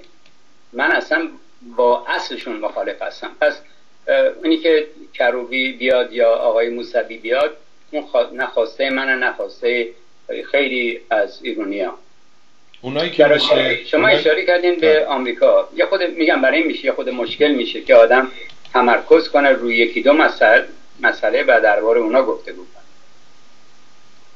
نظرتون درباره اونایی که درباره همین قانون اساسی جمهوری اسلامی میگن این یک کپی بوده از کشورهای پیشرفته و خیلی بهتر از قانون مشروطه هست قانون اساسی مشروطه. مثل آقای چمنارا اینو میگه دکتر نصر احمدی اینو میگه. میگن شما اگر قانون این چیز رو بردارید و به جای بذارید شاه می‌بینید که این کمتر تو شاه و رهبر و اینها قدرت داره. حالا اجرا نمی‌کنن بماند ولی نظرتون در این مورد که این بهتر از قانون مشروطه قانون اساسی مشروطه است چیه؟ من خیلی متاسفم. البته من اون کسانی که نام بردین کاری ندارم. ولی من قانون اساسی جمهوری اسلامی رو کاملا دقیق خوندم. برای خودم حلاجی کردم. و یکی از چیزهایی رو که بهش اشاره نمی کنن اینه که تمام نه تمامش ولی شاید 90 درصدش یک چیز بهش اضافه شده که این در صورتی valid به فارسی چی میشه؟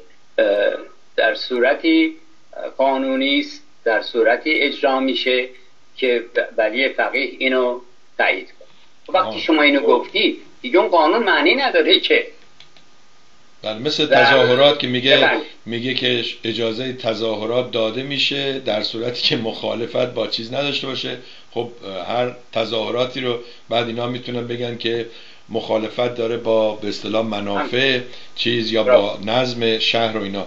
آقای سلیمانی فکر کنم از آمریکا باشن. ایشون نوشته که انتخاب بد و بدتر نرم انتخابات جهانی شدن. با اینکه اختلاف های شدیدی هم در سیستم ها هستن. یعنی ایشون می‌خواد بگه که کشورهای دموکراسی هم حقیقتا نرم انتخابات یا به اصطلاح این مذر می‌خوام و ولی این یکی از شعارهای انسانهای یهودیه که می‌خوان یه جوری انتخاب بین سلطنت و جمهوری اسلامی رو قانونی بهش نگاه کنن. نه. انتخاب بین بد و بدتر راه درستی نیست. نه اینکه ما همیشه انتخاب های خوب داریم. یه مقداریش تقصیر سیستمه یا مقداریش تقصیر مردمه. اون مردمه که شما بهش اشاره کردین که رأی نمیدن توجه نمی‌کنن براشون فرق نمی‌کنه یا فکر می‌کنن مهم نیست. ولی چیزی که مهمه علتی گفتن نمیشه در مورد همه مسائل صحبت کرد واقعیت اینه که نمی‌تونیم سیستم آمریکا رو که نسبی یک سیستم آزاده با سیستم ولایت فقیه مقایسه کنیم نمیشه. و دیگه هر چقدر اینا بعضشون خراب باشه که البته امروز دارن می‌رسن به اون خرابی های خیلی عمیق. ولی کشور ما خیلی وضعش خرابه. و یکی از دلایلش خود مایی. داستان اندیشکده اینه. یعنی نوشتن کتاب به وجود آوردن اندیشکده این تلاش ها و شرکت های من در گفتگوها اینه که ما نیاز به آگاهی و شناخت داریم. اینی که ما همه چیز دان هستیم یعنی کمدانیم ما تا اینو درست نکنیم هیچی درست نمیشه. ببینید شما در مورد فرض کنین سه هزار سال پیش چهار هزار سال پیش پندار نیک گفتار نیک اعتراض می‌کنین یه چیزی رو اینجا با هم دیگه مرور کنیم 99 سال پیش. این اینو داستان رو برای بینندگانتون قبلا تعریف کردم. 99 سال پیش انگلیس می‌خواد یک قراردادی رو در ایران پیاده کنه. تحت الحمایه کردن ایران. ولی واقعیت اینه که جناب سعودی اگه شما کلاتون رو بازی کنید بینندگانتون واقعا کلاشون رو قاضی کنن. چند درصد از مردم ایران می‌دونستن و می‌دونن که آقا این رضاخان و سدزیا نبودن که کودتا کردن. ایر انگلیس بود که کودتا کرد. یک ژورنالیست مزدور و یک قلچماق قزاق آورد که بتونه قرارداد تحت الحمایه کردن رو پیاده کنه. خب ببینین اگر ما یک داستانی که 99 سال پیش افتاده ازش نا بی اطلاع هستیم و ناآگاه هستیم و تو خیابونا میگیم رضا شاه روحت شاه. آخه این کسانی که اینی میگن اگه می‌دونستن که این یه عامل بیگانه بوده چجوری می‌تونی این حرف رو بزنی؟ من مشکلم اینه. خب حالا درسته سه چهار هزار سال پیش ما تمام مسائل ضبط نشده ازش عکس گرفته نشده ویدیو نشده ما همه چی رو نمی‌دونیم. ولی در چارچوب یک اکتشافات یک سمبول ها یک پیدا پژوهش ها چیزایی رو بغل هم گذاشتن و یه تصویری رو درست کردن. خود شما ببخشید. خود شما میگید که اون کسی که گفت رأی من کو لزوما دنبال کروبی و میرحسین موسوی نبوده. اگه فردا یکی از دوستان بیان بگن ما وقتی گفتیم که رضا شاه روحت شاد اصلا هیچ ربطی به رضا شاه نداشته منی که اینجا نشستم که شمایی که معلم من هستید به من میگید هر چیزی رو به خاطر اون زمان باید نسبی حقیقت هست و تاریخ قبول کنیم من به قول دوستانم چه خاکی باید برسر کنم؟ که اون که میاد میگه رأی من کو من بگم این منظورش چیزی دیگه است. اونی که میاد میگه رضا شاه روحت شاد بگم من بله درست. بکنم درست بیان نکرد. من نگفتم رأی من کو. داریم میگیم وقتی که در ایران اعتراض می‌کردن و می‌گفتن رأی من کو در اون موقع بر اساس پرسش چه باید کرد ما اومدیم اندیشکده رو درست کردیم. داشتم زمان رو تشریح می‌کردم. من رأی نداده بودم که بگم رأی من کو. و از اون رأی من کو حمایت نمی‌کردم می‌گفتم باید ببینیم چه باید کرد. و حرف ما این بود که همینجوری که چند لحظه پیش براتون گفتم ما یعنی اندیشکده رهای مردم و نجات ایران رو در سرنگونی می‌بینه. ولی گفتیم که نه در اصلاحات رژیم فقاهتی نه در رفراندوم عوام فریبانه نه در بازگشت سلطنت. و اینو هنوز این باور ماست. بسیار ممنونم. آقای سلیمانی نوشتن که منظور من اصلا مقایسه جمهوری اسلامی با حکومت شانشاهی نبود.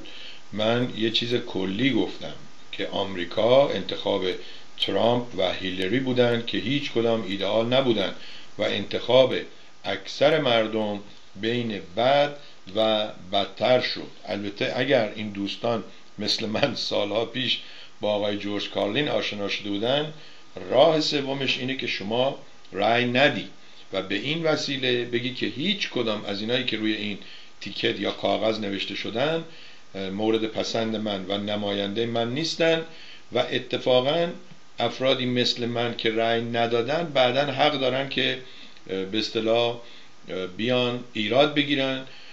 برعکس اون چیزی که شایع شده که شما چون رأی ندادی حق نداری که انتقاد کنی.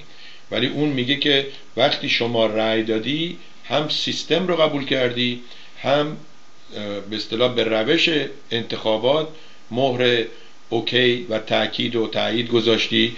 هم این که دیگه حالا رأی دادی دیگه ساکت باش تا چهار سال یا هشت سال اینها بگذره. ولی اونی که رأی نداده از فردای همون روز انتخابات حتی از همون روز انتخابات می‌تونه بگه که من مخالفم هیچ کدام از اینها کاندیدای من یا نامزد انتخاباتی از طرف من نبودن. در ایشون میگه کل مطلب کل کلام این که منظورشون به جمهوری اسلامی و شاهنشاهی نبوده. بفرمایید. سپاس نه من هیچ با اینکه ما معمولا مواجه هستیم با بد و بدتر من اصلا اعتراضی مون ندارم. این درسته. ولی نمی‌دونم که آیا با این فلسفه که شما به کار می‌برین می‌تونم موافق باشم یا نه؟ مشکل دارم کمی. و اون اینه که شما میگین که رأی ندیم. خب اینجا یه خود مشکل آفرینه. برای اینکه اگر شما برای این تعیین این مسئله شرکت نکنی اون انتخابی که می‌کنن زندگی شما رو تحت تاثیر قرار میده. و آیا ما باید آینده رو بسازیم یا بشینیم تماشاچی باشیم که برامون بسازن. اینم باید بهش نگاه کرد. نمیگم که درسته یا غلطه ولی مشکل من اینه. اتفاقا خدمتون گفتم من اون کتابی رو که الان در حدود دو ساله دارم می نویسم در مورد ایران فرداست. و داستان اینه که آیا ما به صورت یک ملت. میایم با برنامه ریزی با آگاهی با شناخت یک میهنمون رو می‌سازیم. یا اینکه مثل یه دونه قایق که بادبان داره اون اسکان رو ول می‌کنیم. می‌ذاریم این باد توی دریا ما رو ببره هر جا که می‌خواد. بالاخره باید یه کنترلی هم وجود داشته باشه باید یه شرکتی هم باشه. باید بیایم سعی کنیم این کشورمون رو بسازیم تا به حال نساختیم. بسیار ممنونم. خب دوستان عزیز اگر سوالی نظری یا موردی هست که می‌خواین مستقیما با خود آقای لادن تماس بگیرید من وبسایت ایشون رو نشون دادم فیسبوک ایشون رو هم بهتون نشون دادم. می‌تونید با خودشون تماس بگیرید و ایشون معمولا پاسخ میدن. مگر به افرادی که ایشون فکر کنه که به صلاح هدفی به تلف کردن وقت ایشون نداره. من, من ساکت میشم. باز شما اگر صحبتی دارید بفرمایید چون این سه مورد رو من با هم گفتم. اگه فکر می‌کنید که باز در موردی هست که می‌خواین صحبت کنید بفرمایید. اگه شما دوست داشته باشیم می‌تونیم یکش انتخاب کنیم. ولی من اگر نه می‌خواستم یه خبری رو من توی یکی از تارنمه ها دیدم که منو به یاد یک جریانی انداخت در زمان رضا شاه.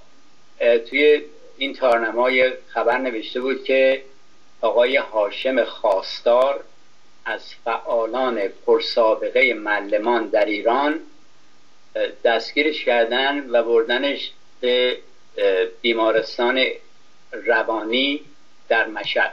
بله این همون ایمیلی بود که منم برای دوستان نوشتم که اون خانمی که اونجا صحبت می‌کنه توی اون مادر دوتا جوونیه که اعدام شده. ولی هرگز اینا نگفتن که این فرزندان ما با اسلحه اتوماتیک رفتن بازار طلافروشان تهران و اونجا روب و وحشت ایجاد کردن و نوارای زیادی از اون دوربینای سکیوریتی هست. ولی درباره درباره اون معلمی که گرفتن این آقای یکی دو روز اصلا هیچ خبری ازش نبود. بعدا بله بعدا اینجوری پیدا شد و من یه منظوری داشتم.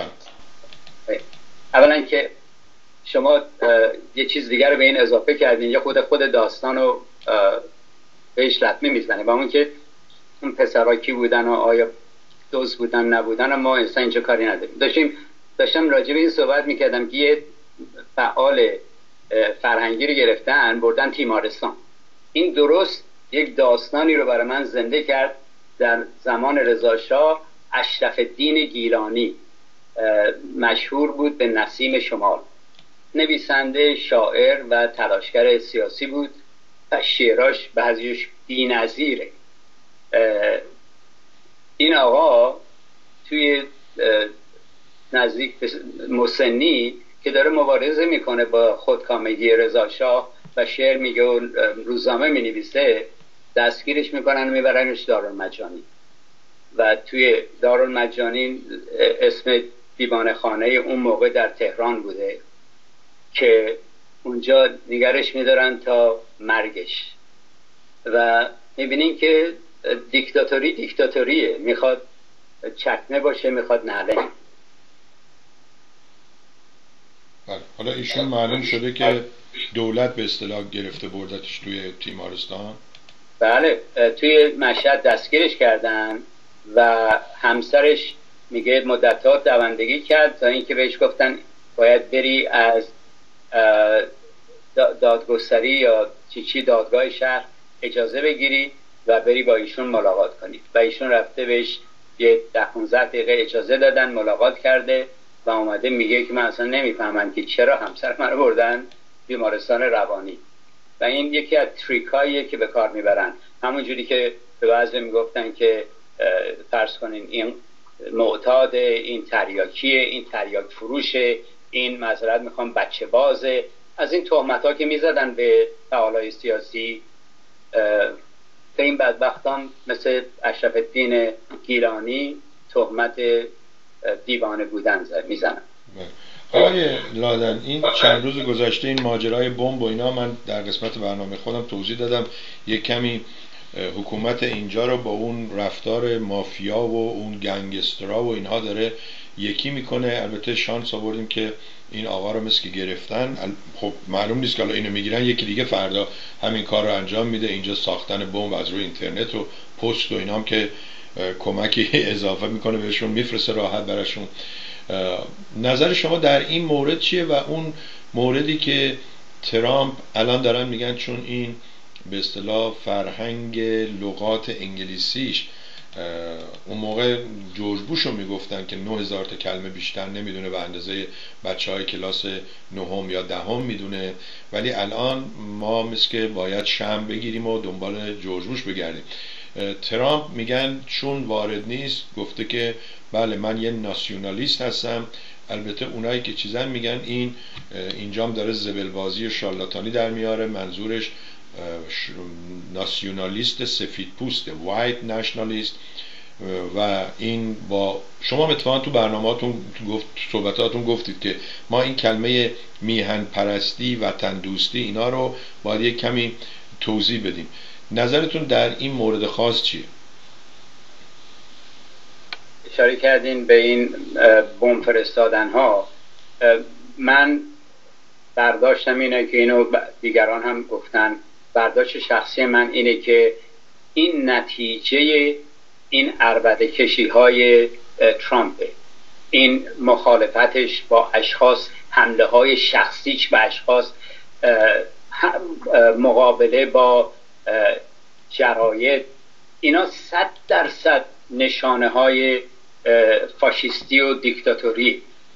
و باید انتظار داشت که تو مملکت کسانی هستن که مثل بچه می‌بینن و فکر می‌کنن و میشه اینها رو وادار به هر کاری کرد. همانطور که امروز دیدین که توی ماشین این شخصی که دستگیرش کردن تمام عکسها در مورد اون جاهایی که ترامپ بوده و حرفایی که زده یعنی کاملا تحت تاثیر این شعارها قرار گرفته. در, در مورد یه چیز دیگر هم اشاره کردین متاسفانه از ذهنم رفت. اون کلمه ناسیونالیسم. آه کلمه ناسیونالیسم. متشکرم. می‌دونین که کلمه درستش نه اینکه این غلطه. این هدفشو داره میگه. ولی کلمه که میشه بهش به کار برد و کلمه درستیه و من بهش اعتقاد دارم اون کلمه میهندوستیه که از patriotism patriotism فرق داره با نشنالیزم نشنالیزم اون یک نوع ناسیونالیستیه که چیز داشت اون آقای در ایتالیا موسولینی بله. یا فرض کنین حزب پانیراریست در ایران حزب سومکا در ایران مسائل نجات پرستانه و یا ایرانیایی که فکر می‌کنن میهندوستی یعنی مخالفت با عربان. اصلا این چیزا با هم دیگه ربطی نداره. شما این میهندوستی یعنی به دیگران احترام می‌ذاری. دنبال منافع میهنتی. دنبال قانونمندی هستی. بسیار ممنونم. خب لطف کنید در همین مواردی که قبلا هم به اصطلاح قرار بود صحبت کنیم. یک چرا کشوری که تمدن بشریت را پایزی کرده چنین خار و ضعیف است؟ من قول میدم که دیگه من نگم من باور ندارم. شما توضیح بده بعد چرا ملتی که فلسفه پندار نیک گفتار نیک یعنی اوج انسانیت را قرنها پیش الگوی زندگیش قرار داده امروز در جهل و خرافات مذهب بر هست و بالاخره چرا ملت که اولین منشور حقوق بشر رو و دگراندیشی و تحمل دگراندیشی رو 2500 سال پیش پیاده کرده امروز به اصطلاح اینجوری می‌بینیم که قوانین حقوق بشر در اون کشور زیر پا گذاشته میشه. حتما. باید هر کدومش رو جدا جدا البته بهش نگاه کنیم و اولیش در مورد اکونومی بود که تمدن. اگر الان برای دیگه همه آسون شده شما اگه برین توی گوگل یا برین توی اینترنت و بگین که فرض کنین اروپا در 500 سال یا 1500 سال قبل از مسیح 1500 BC اوضاع اروپا. می‌بینین که مردم همه بدون استثنا برده ثروتمندان و قدرتمندان هستن همه بعد خانوادهشون یعنی زن و بچهشون هم برده و متعلق مثل احشام مثل گله گاو و گوسفند متعلق به ارباب. هیچ قوانینی وجود نداره جز زور و هر کسی تقلب می‌کنه آهن میکشنش و پاش زیاد بیرون بذاره میکشنش. خب ببینید در یک چنین دورانی وقتی یک کشوری میاد یک قوانینی می‌ذاره که حالا فرض کنین بعضیاش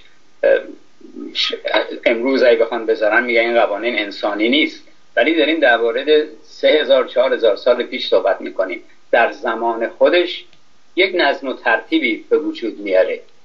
آیا اون موقع ما آزاد بودیم؟ نه ما برده بودیم. ما زنا مثل برده بودن. حالا مردای خود بیشتر حقوقشون رایت می شده اینه که وقتی صحبت می‌کنن تمدن بشریت میگن این نظم و ترتیبی که در اون زمان به وجود اومده بوده و اینا همه رو با یک نوع اکتشافات و چیزایی رو که پیدا کردن بر اساس اونا میگن. و من نمی‌دونم که چقدرش داستانه چقدرش حقیقیه ولی با توجه به بعضی از اکتشافات میشه گفتش که یک چیزهایی وجود داره. مثل مثلا فرض همین استوانه که بعضی به اون هم ایراد می‌گیرن. بعد نگاه می‌کنیم به پندار نیک گفتار نیک کردار نیک من برام این اینجوری بهش نگاه می‌کنم. اگر امروز الان شما این خودتون تو ذهنتون مجسم کن.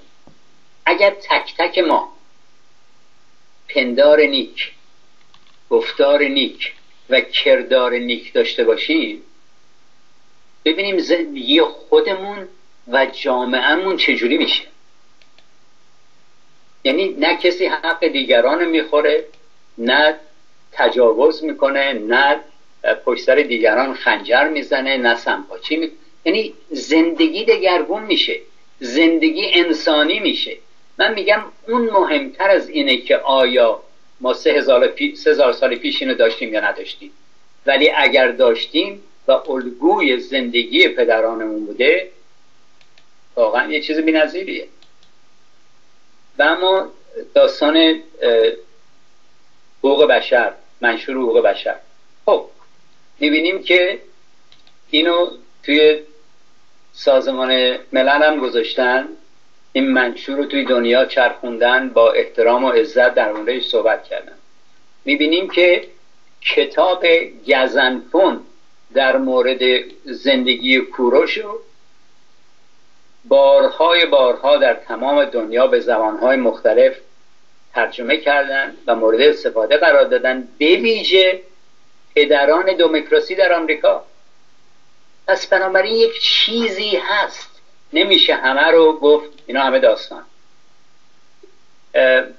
من بهش در این چارچوب نگاه می‌کنم. من مطلق بهش نگاه نمی‌کنم. در اینکه مطلق خیلی مشکله.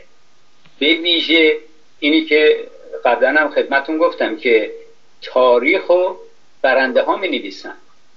یعنی کسانی که فاتح شدن.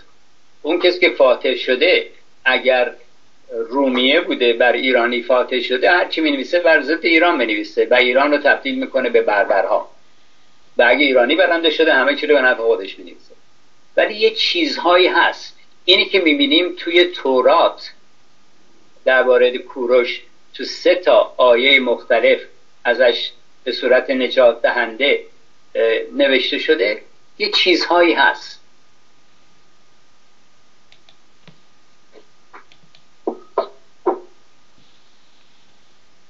بسیار ممنون.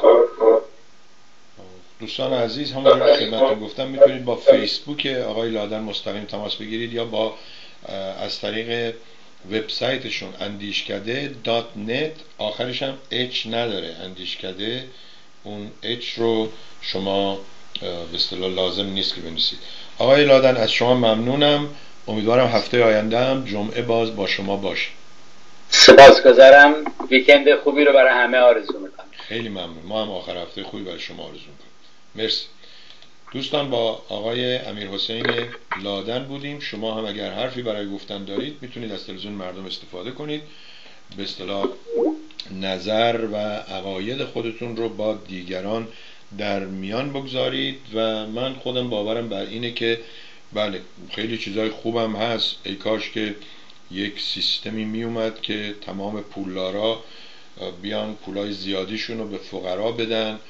احتمالا یه جایی هم یه زمانی توی عصر و تاریخی همچین چیزی بوده ولی الان نیست. صرفا به این دلیل که من دلم می‌خواد اینجوری باشه یا تصور کنیم که اینجوری بشه خب خوبه ولی میگم می‌تونیم هر چیزی رو به صورت امید و آرزو داشته باشیم ولی حتما اون امید آرزوی ما تبدیل به یقین و یه چیز اجرایی نیست. من بیشتر میگم که واقع بین باشیم. اتفاقا نوشته های انگلیسی هست که میگه اون چیزی رو که داری ازش امروز استفاده کن فردایی رو که می‌خوای بساز. ولی با دوستان که صحبت می‌کنم هیچ صحبتی از امروز نیست. همش دیروز. دیروز. دیروز. بعد خودمون همین شاعرهایی که این دوستان صحبت می‌کنن بهشون به اصطلاح استناد می‌کنن. توانا بود هر کی دانا بود. بله توانا بود هر کی دانا بود. ولی چه جوری همونم میگه که مثلا گیرم پدر تو بود فاضل. گیرم که کوروش اصلا همینه که شماها میگید. حقوق می‌داده به زنان حامله برید خونه وضع هم کنید بعدش هم بچه ها رو بزرگ کنید. بعد یه دفعه نوشته در میاد که آقا همون موقع اینا به زنا مساوی حقوق نمی‌داده. ایشون اشاره کرد به اون استوانه. والا من می‌دونم این روزا با این تلفن هزاران موضوع هزاران فایل و پرونده و کاغذ رو میشه جابجا کنید. ولی به نظر می‌رسه که ما یک کامپیوتر بهتر از این داشتیم. به نام لوحه اون استوانه کوروش. هر کدومش یک انقدرش میچرخونه. تازه حالا نصفش هم گل بوده ریخته رفته. اگه اون نصفی بود که دیگه تمام مشکلات دنیا رو حل می‌کردیم ما. و من نمی‌دونم. باز برمیگردم به صحبت خود آقای لادن که میگه اگر پرسش درست نباشه به احتمال 99 درصد جواب درستی هم نمی‌تونیم بدیم. اینکه ما میگیم چرا ملتی که فلسفه پندار نیک گفتار نیک اوج انسانیت؟ بعد نگاه می‌کنیم می‌بینیم نبوده خب. پرسش غلطه. جوک می‌گفتن که معلمی آمد گفت یک پرتقال فروشی یا یک میوه فروشی. انقدر پرتقال داشت انقدر سیب داشت. بعد گفت که حالا قیمت موز رو شما تعیین کن. طرف نمی‌خونه اصلا با هم ولی نمیتون امیدوارم اینجوری باشه. پس بیایم همون اینا رو هی تبلیغ کنیم و فکر کنیم که با اینا آگاه میشیم. من فکر می‌کنم نمیشیم. بدتر شدیم. نشون داده تو این چل سالی که میایم به جای سلام به هم میگیم میگیم درود. اینجامون فروهر می‌زنیم. یه دوستی داریم اینجا کاسبه. یک فروهر انقدی انداخته رو سینهش بهش گفتم شما دو سه تا دیگه از اینا آویزون کنی مشکل دنیا حل میشه. نیست آقا اینجوری حل نمیشه. اصلا باید بگیم این انداختنش تو گردن حرامه. برید این پوله رو بدید به یک کسی که احتیاج داره. برید یک کتاب بخرید بدید به یک بره مدرسه. برید برنج و روغن بخرید بدید به یک که سیر بشه. اونجوری اگه راه بندازیم بهتر اینه که بعد به همین آقا شما یک کلمه بالا و پایین صحبت کنی فوش خار و مادر می‌کشه بهت میده. همین یه کاسبی هست اینجا دیوونه است هست. تو مهمونی هم همه میگن این دزده این نمی‌دونم وقتی ازش چی می‌خری؟ چون می‌دونه که شما تو رو درواسی هستی مثلا چهار تا قلم هم علکی می‌زنه. شما حالا یا یادت میره کنترل کنی نگاه کنی یا اگرم کنترل کنی رود نمیشه. چون یه آدم بی آبرویه اگر رفتی بعدا به اصطلاح آبرو تو رو می‌بره. مثل همین ترام بله. میگن که بابا نزدیک بگوین کوروش اون زمان وصل بودن به اینترنت با شلنگ. بله واقعا جوکی هست. میگن که یک ایرانی اومده بوده اینجا تو شرکت مخابرات کار میگرده میبرنش بعد یه مدتی اینجا رو تمیز کن اونجا رو تمیز کن جاده بسازیم. هر جا این بکو یا اون بیل الکتریکی رو می‌زدن بیل مکانیکی ببخش بیل مکانیکی رو می‌زدن میکشیدن بالا سیم میمده بیرون. حالا یا سیم تلگراف بوده یا سیم برق بوده یا هرچی هی آمریکایی پوز می‌داده به این ایرانیه که ببین ما از همون زمانها سیم داشتیم سیم کشی داشتیم و اینا. ایرانی خیلی بهش برمیخوره. میگه حالا یه دفعه من تو رو می‌برم ایران نشونت میدم. میبردش ایران این سنگ و منگار رو نشون میده بعد میگه حالا بیا بریم این برابر ما هم بکنیم شاید سیمی چیزی پیدا شد شاید به قول این دوستمون هنرمند عزیز آقای فراد زمانیان. شلنگ آبی پیدا شد ما وصل شدیم به اینترنت. هر چی می‌کنن چیزی پیدا نمیشه. ما ایرانی ها که از رو نمیریم. با پررویی به اون آمریکایی میگه دیدی ما اون زمان از شماها جلوتر بودیم. ما تمام سیستممون بیسیم بوده. خوش باشید. موفق باشید. اینم از این. و اما میگه که شما با داشتن انرژی مثبت می‌تونید موفق بشید با داشتن انرژی منفی هیچ هیچ چیزی نتیجه به غیر از ناکامی نیست. اینم باز همون نامه ها و عکسایی که در طی روز برامون میاد و هممون می‌خونیم. همون موقعی کم اثر می‌ذاره ولی بعدش دوباره همون آدمی هستیم که صبح بودیم. ضمنا رئیس CIA این خانومه که اسمش هم یه جوری نزدیک خول هست که اصلا شکنجه و اینها رو در زمان جورج بوش اینا انجام دادن و اینا اوکی کردن و اینا دوباره راه انداختن. نوار معروف اون خشبجی که گفتن توی سفارت تلفن روی دستش از این تلفن های آیفون بوده و روشن بوده و با اون خانمه این مثلا صحبت ها و صداها رو اینا رو فرستاده روی iCloud cloud یه storage یا یک سیستم منبعی هست که بله. میگه که آقای پتیک الان از طریق تلفن برنامه شما را میشنوم. تشکری دارم از شما و آقای لادن. امیدوارم با آگاهی هایی که آقای لادن دادند و اطلاع رسانی می‌کنن اکثر مردم به جای صحبت های آنچنانی بیشتر فکر و بیشتر عمل نمایند. به امید آن روز پتیک. ممنونم. در حین برنامه پتیک پرسید که شماره تلفن چنده؟ با وجودی که من اول برنامه گفتم که اون سیستم رو دیگه سعی می‌کنم استفاده نکنم چون به نظر می‌رسه دستگاه هامونم اذیت می‌کنه ولی روشن کردم و ایشون امتحان کرد میگه کار می‌کنه. حالا تا کی کار می‌کنه؟ گفتم که یکی از دوستان یه چیزی خریده بود بهش گفته بودن lifetime warranty یعنی ضمانت همیشگی داره دائم‌العمر. دائم‌العمر میگیم؟ بعد وقتی رفته بود گفتن خب عمرش تموم شده دیگه این ضمانت هم باهاش رفت.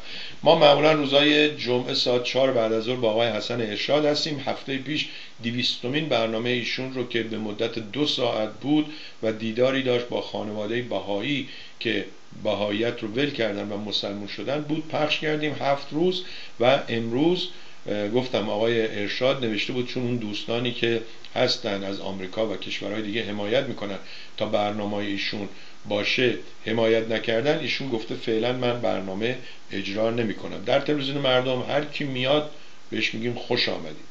هر کی رفت بهش میگیم موفق باشید به امید دیدار. باز که برگشت میگیم خوش آمدید. و شما هم می‌تونید اینجا برنامه داشته باشید شما هم می‌تونید پیام بذارید نظراتتون رو بگید.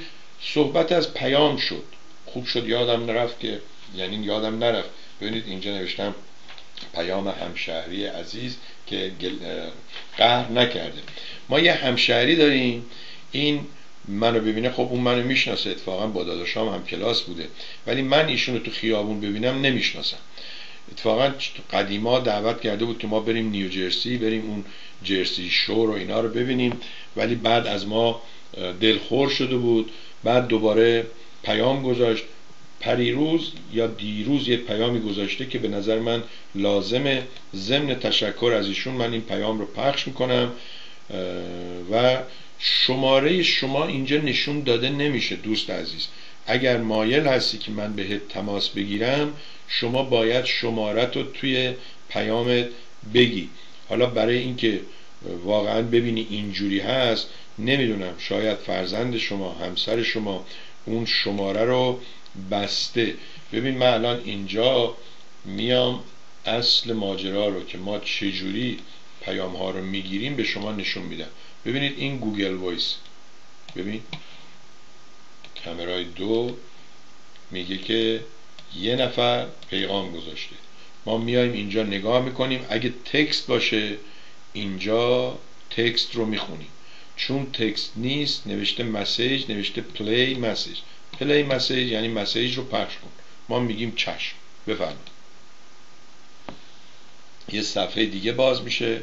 می‌نویسه که چند دقیقه است. میگه سه دقیقه. ببینید باز اینجا من باز می‌کنم تا شما کاملا ببینی. چون بعضی وقتا دیدم شما اون دفعه گفتی که خب شما که شماره منی می‌دونستی. والا من اسم شمارم یادم نیست. می‌دونم شما لطف کردید موقع آقای کاووسی اینجا برنامه داشت حمایت کردی ولی من اسامی مردم رو نگه نمیدارم. شماره تلفن مردم رو نگه نمیدارم و به همین خاطر هست که بعضی وقتا برای دوستان می‌نویسم آقا آدرس تو بفرست. می‌خوام یه چیزی بفرستم یا میگم شماره تلفن. میگه ای آقا شما نداری؟ میگم والا اگه داشتم ازت میپرسیدم نشون میده دیوونه شدم. خب ندارم عزیز من نگه نمیدارم. ببینید اینجا مینسه سه دقیقه اینجا مینسه انون ناشناس ساعت یازده و ده دقیقه صبح ترزده. دیروز گوش می‌کنیم با هم به صدای این دوست همشهریمون که راجع به افرادی که بیمه دارند یا ندارند راجع به پول دارو و اینها. و من منتظر بودم که امروز آقای هوشنگ امیر احمدی بیاد و بهش بگم آقا شما که میگی ترامپ هرچی گفته عمل کرده این شالاتان گفت من روز اولی که بیام بیمه ها رو اینجوری می‌کنم اونجوری می‌کنم. هدفشون این بود که بیمه اوباما رو یعنی اونایی که از قبل یه مریضی دارن از بین ببرن. الان که این استخون رو خوردن تو گلوشون گیر کرده بیشترشون دارن تبلیغ می‌کنن. به مردم میگن شما می‌تونید با pre-existing یعنی اگه قبلا هم مریضی داشتید مشکلی داشتید باز بیمه بخرید. ولی نمیگن که ما 70 درصد Republican ها اینو امضا کردن که از بین ببرن و اون جان مک‌کین بود که مرد. اون فقط قبول نکرد به خاطر اینکه قبول نکرد فعلا مونده. بشنویم با هم پیام این دوستمون رو. تشکر می‌کنم ممنونم. شما از ما قهر می‌کنی ولی ما از شما قهر نیستیم. مرسی که لطف کردی پیغام گذاشتی. بفرمایید. آقای صبحی صبح شما بخیر. امروز روز پنجشنبه است. هوا نیست آفتابی یک کمی هم چیلیه. ببینید من در کاری به سیاست و چیز و اینا ندارم. من فقط یه چیزایی که به ذهنم می‌رسه که بتونم یه کاری بکنم انجام میدم. حالا ممکنه همه این موضوع رو بدونن باید ببخشید. اگه می‌دونن اون هموطنهای گرامی که برنامه شما رو می‌بینن اگه می‌دونن اگنور کنن. ببینید الان قیمت داروها بالا رفته. من فقط یه دونه قرص فشارخون می‌خورم پنج ساعت.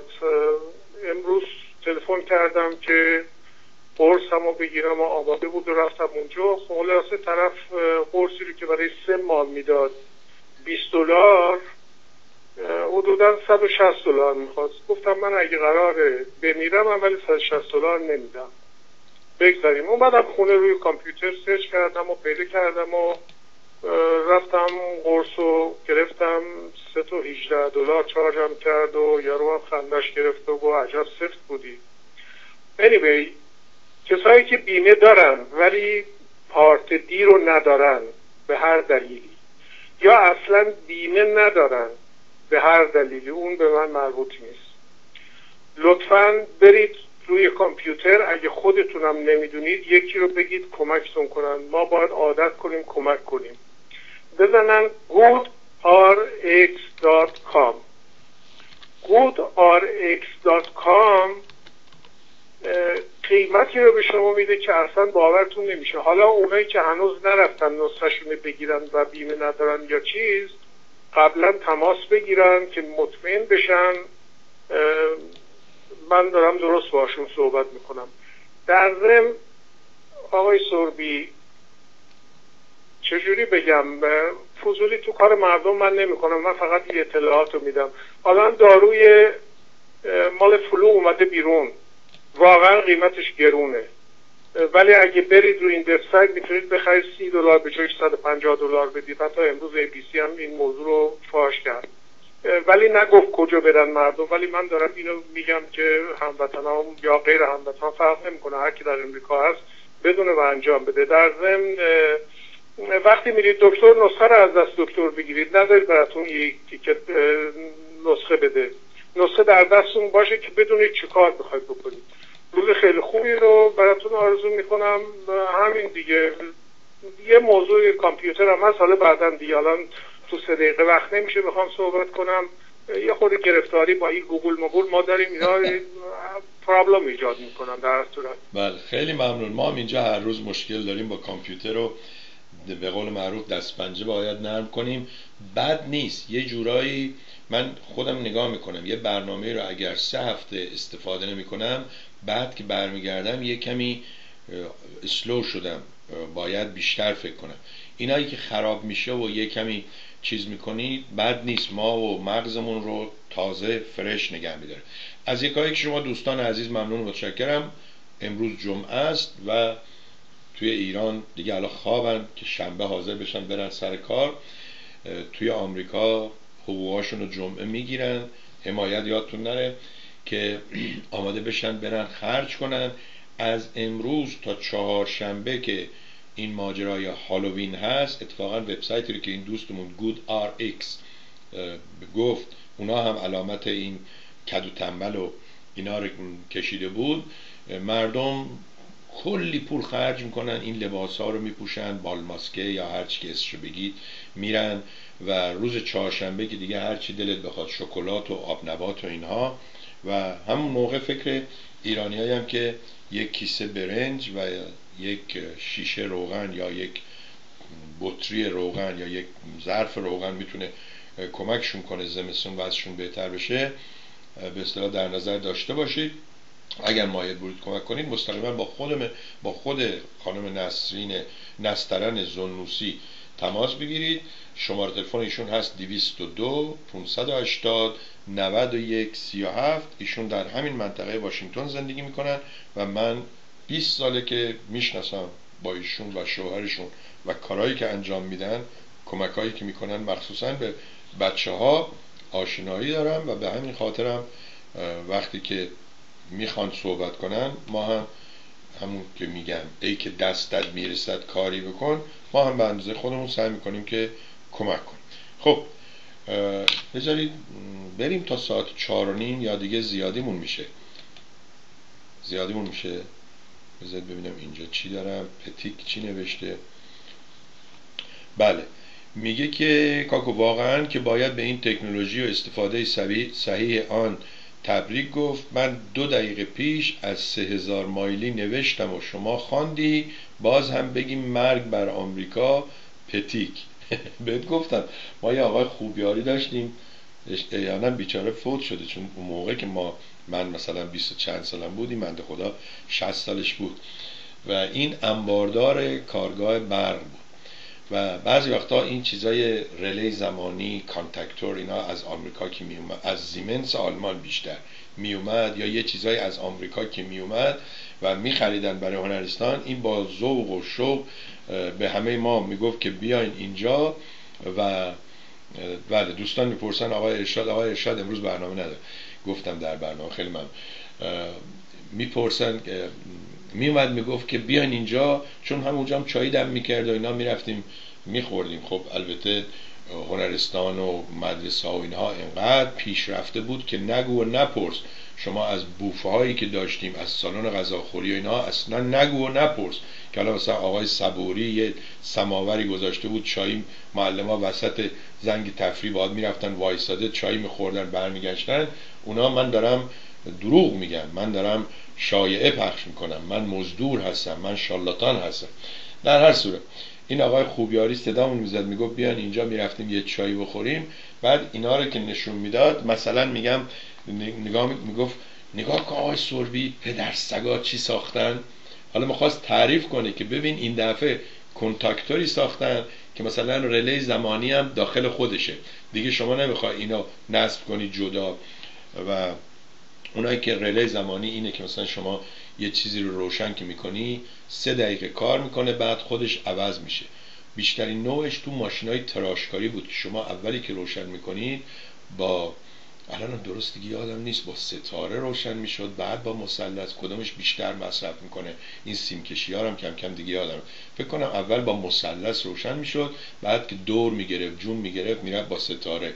یا موتورهای کولر اگه یادتون باشه کولرهای آبی وقتی روشن می‌شد یکم که دور می‌زد بعد یه چیزی می‌گفت چلق این یک کلید فرار از مرکز داشت که اون قطع می‌شد و به جای دو تا سیم پیچ دیگه بعد یه سیم پیچ کار می‌کرد. چون اولش یه سیم پیچ لازمه که به این بگه از کدوم طرف بچرخ. و اونایی که اون سوخته بود اولین امتحانش این بود. شما می‌رفتی روشن که می‌کردن. این تصمه رو می‌گرفتی. از این ور میپیچیدی باد از خونه می‌برد بیرون. از اون ور میچرخوندی باد میآورد. تو فوری میفهمیدی که یا اون کلید گریز از مرکزش خرابه یا سیم پیچی اولیهش سوخته. بمانه. این راجع به تعریف و اینها اینه. ولی آقای پتیک یکم بابا به مسلمان ها و مسیحی ها و اینها اعتبار بده. این سالها پیش گفتن که زمانی خواهد رسید که نمی‌دونم صدایی از شرق بلند میشه در غرب. ما اون صدا رو می‌تونیم بفهمیم و بشنفیم و گوش بدیم اینها. احتمالا منظورشون رادیو بوده. البته اون موقع انقدر همزه داد زد که بیچاره باد فتح گرفت. و امروز با در رابطه با همین دوستمون آقای لادن و اینکه ما این بودیم و این بودیم چرا امروز این هستیم ما یه دوستی داشتیم حالا که صحبت از این دوست ارمنیمون آقای راستی تفاوت ارمنیا با آسوریا که همون آشوریان هست چیه؟ چرا بعضی ها رو میگیم ارامنه بعضی ها رو میگیم آسوری؟ و یه دوستی داشتیم اینجا آقای خسرو میکایلیان. موقعی که من باش آشنا شدم ایشون کامیون رانندگی می‌کرد و هر وقت یه اشکالی پیش میومد پلیسی می‌گرفته جریمه می‌شد خیلی ناراحت بود فوش می‌داد و می‌گفت من با 500 هزار دلار از ایران اومدم بیرون همه رو ریختم تو رستوران رستوران ورشکست کرد. حالا مجبور شدم یک کامیون کونه بخرم کار کنم و اینها.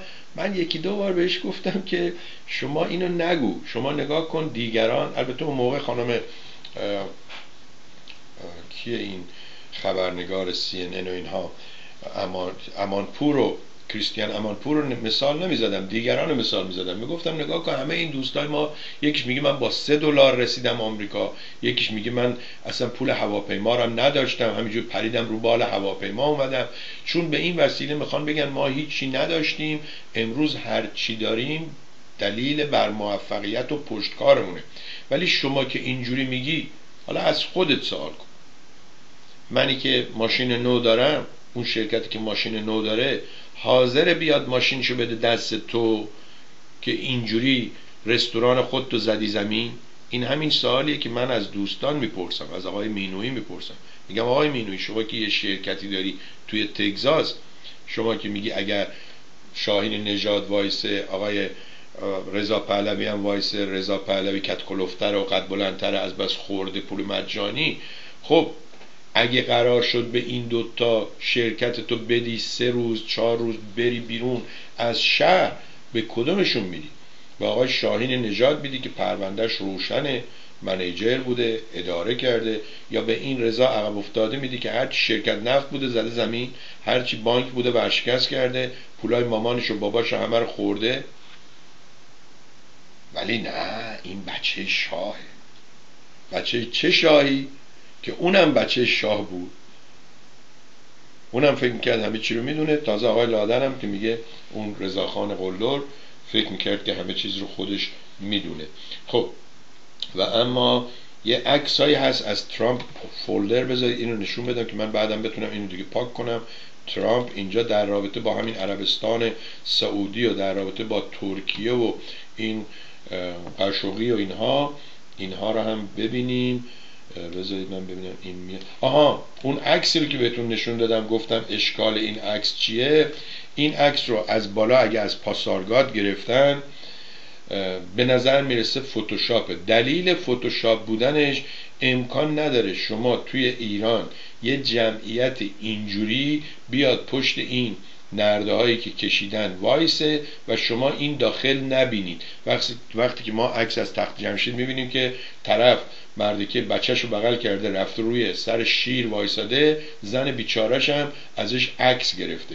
من فکر می‌کنم که این به اصطلاح این ماجرای اینجا چیز باشه این فتوشاپ باشه. تازه اگه فتوشاپ هم نباشه ما میگیم یک میلیون. اصلا میگیم ده میلیون رفتن. به گفته آقای شهرام همایون رفتن اونجا. خب چی شد؟ اینم میشه همون چراغ خاموش کردن روشن کردن. می‌رسیم به چراغ خاموش کردن که اینه. وقتی احمق ها خاموش کردن چراغ ها را مبارزه با آخون می‌دانند حتما بعد از خاموشی هم پیروزی را در خواب می‌بینند. خب این چیه؟ این نوشته آقا رضا پهلویه که یه نفر گفته شازده رضا پهلوی و دیدگاهش نسبت به نقض حقوق بشر قبل از شورش 57 شاهزاده رضا پهلوی گفته که نقض حقوق بشری که در زندان اتفاق افتاد را کسی انکار نمی کند و برایم نه تنها خلاف قانون بلکه کاری غیر انسانی است. قادر به توجیه و پذیرش آن نیستم. این موضوع برایم بسیار دردناک است چرا که نهایتا پدرم مسئول آن شناخته می شود اینم مال اون اوائل بود. الان که دیگه اصلا میگه نه آقا اصلا هم چیزی نبوده. ملت فهم و شعور نداشتن. اینم ماجرای ترامپ که چون پول گرفته از عربا تو جیباش می‌بینید پر پول حوله و دستمال آفتاب و لگن دنبال این عربا و دست خونینشون رو داره میشوره براشون. و اما این یکی دیگه اجازه بدیم اینجوری بزنم بهتر عوض میشه. و اینم میگه کنسولگری یا کشتارگاه. کنسولگری عربستان سعودی در استانبول.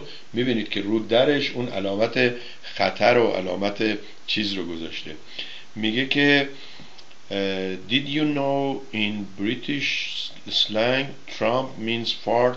بله اینو می‌دونم. اگر توی دیکشنری انگلیس چیز کنید برای که این کلمه ترامپ و ترامپد و اون صدای عجیبی که از اون دستگاه بیاد بیرون و اینا همین مثل بادی هست که از باد گرمیه که ازت خارج میشه. کنسولگری به عربستان سعودی Where is the body همون سوالی که آقای اردوغان داره می‌کنه میگه که خب حالا اینو کشتی جسدش رو چیکار کردید؟ عکسایی تو اینترنت پخش شد که جسدش رو تیک تیکی کردن و بردن همون روز برگردوندن بردن عربستان سعودی. ولی اینجا اون کاراگاهه داره با زربین میگرده دنبال خط خون. اونا هم هی دارن اینو دور ساختمون میچرخونه. و اما این نشست ها و به اصطلاح میتینگ ها و اینایی که هست مال رهبران جهان شما نگاه کنید از اون خانم صدر اعظم آلمان اون نخست وزیر انگلستان این رئیس جمهور که چه ارز کنم مال مال فرانسه و این یکی هم مال کانادا ولی این عکس رو درست کردن که ترامپ رو هم مثل بچه ای تو این گالسکا گذاشتن و اونا دارن پوشش میدن یا هولش میدن به هر طرفی که می‌خواد بره. و این هم ماجرای باز ترامپ و عربستان که همشون با شمشیر و دست خونی و حقوق بشر داره سر می‌زنه و زنه رو بسته رو چیز و روی بگید روی صندلی و اینها و این آمریکایی ها و ترامپ و اینا میرن اونجا و خندان و بشاش برمیگردن. باز نشون میده که جردن و امارات سعودی عربی یا بحرین با این شمشیر میدل ایست یا خاور میانه رو چیز می‌کنن به کمک سربازای آمریکایی. و خبر خوب اینه که حالا که این کاروان پناهنده ها داره میاد اینجا از هاندورس بالاخره این آقای ترامپ یه لشکرکشی کرد و این خیلی از چیزهای نظامی خوشش میاد. چون همیشه عقده داشته نرفته جنگ و اینا از ترس. دیدید مثلا رفت کره اومد گفت ما باید رفت فرانسه اومد گفت ما باید یه میدون بزرگ اینجا درست کنیم رژه بریم. تا تو شهردار اینجا گفت واشنگتن شهردار اینجا گفت آقا ما اینجا ماشینا که دارن میرن تاکسی ها آسفالت ها کنده میشه وقت نداریم اینا رو پر کنیم. ما وضع خودمون خراب پلا زنگ زده داره میریزه پایین. هر روز یه چاله چوله ای باز میشه. حالا تو می‌خوای دیگه توپ و تانک بیاری تو این خیابونا برو دنبال کارت. اولم گفتن ده میلیون دلار بعد گفتن 200 میلیون دلار. خرج رژه هست. اونم فعلا رفت تا سال دیگه. ترامپ توی تبلیغات انتخاباتیش داره به دروغ میگه که ما اگر برنده بشیم ده درصد از اونایی که میدل اینکام دارن یا مردم سطح متوسط ده درصد کم می‌کنیم ولی دروغ محضه. چون همینا تکس ریفرم انجام دادن تکس ریفرم فقط به نفع اون یک درصداشو و همین رئیس سخنگوی مجلس آمد با افتخار گفت که ببینید این خانم معلم نگاه کنید دو هفته یه دلار و نیم به حقوقش اضافه شده. که اون معلمم آمد گفت که باید خجالت بکشید و شما بیخود اسم من رو استفاده کردید اینم این. دیگه چیزی ندارم. خیلی مطالب زیادی گذاشته بودم اینجا برای گفتن و نشون دادن ولی همیشه داستان ما به اینجا می‌رسه که به پایان آمدین. دفتر حکایت همچنان باقی روز روزگار بر شما خوش. حمایت یادتون نره. مرسی.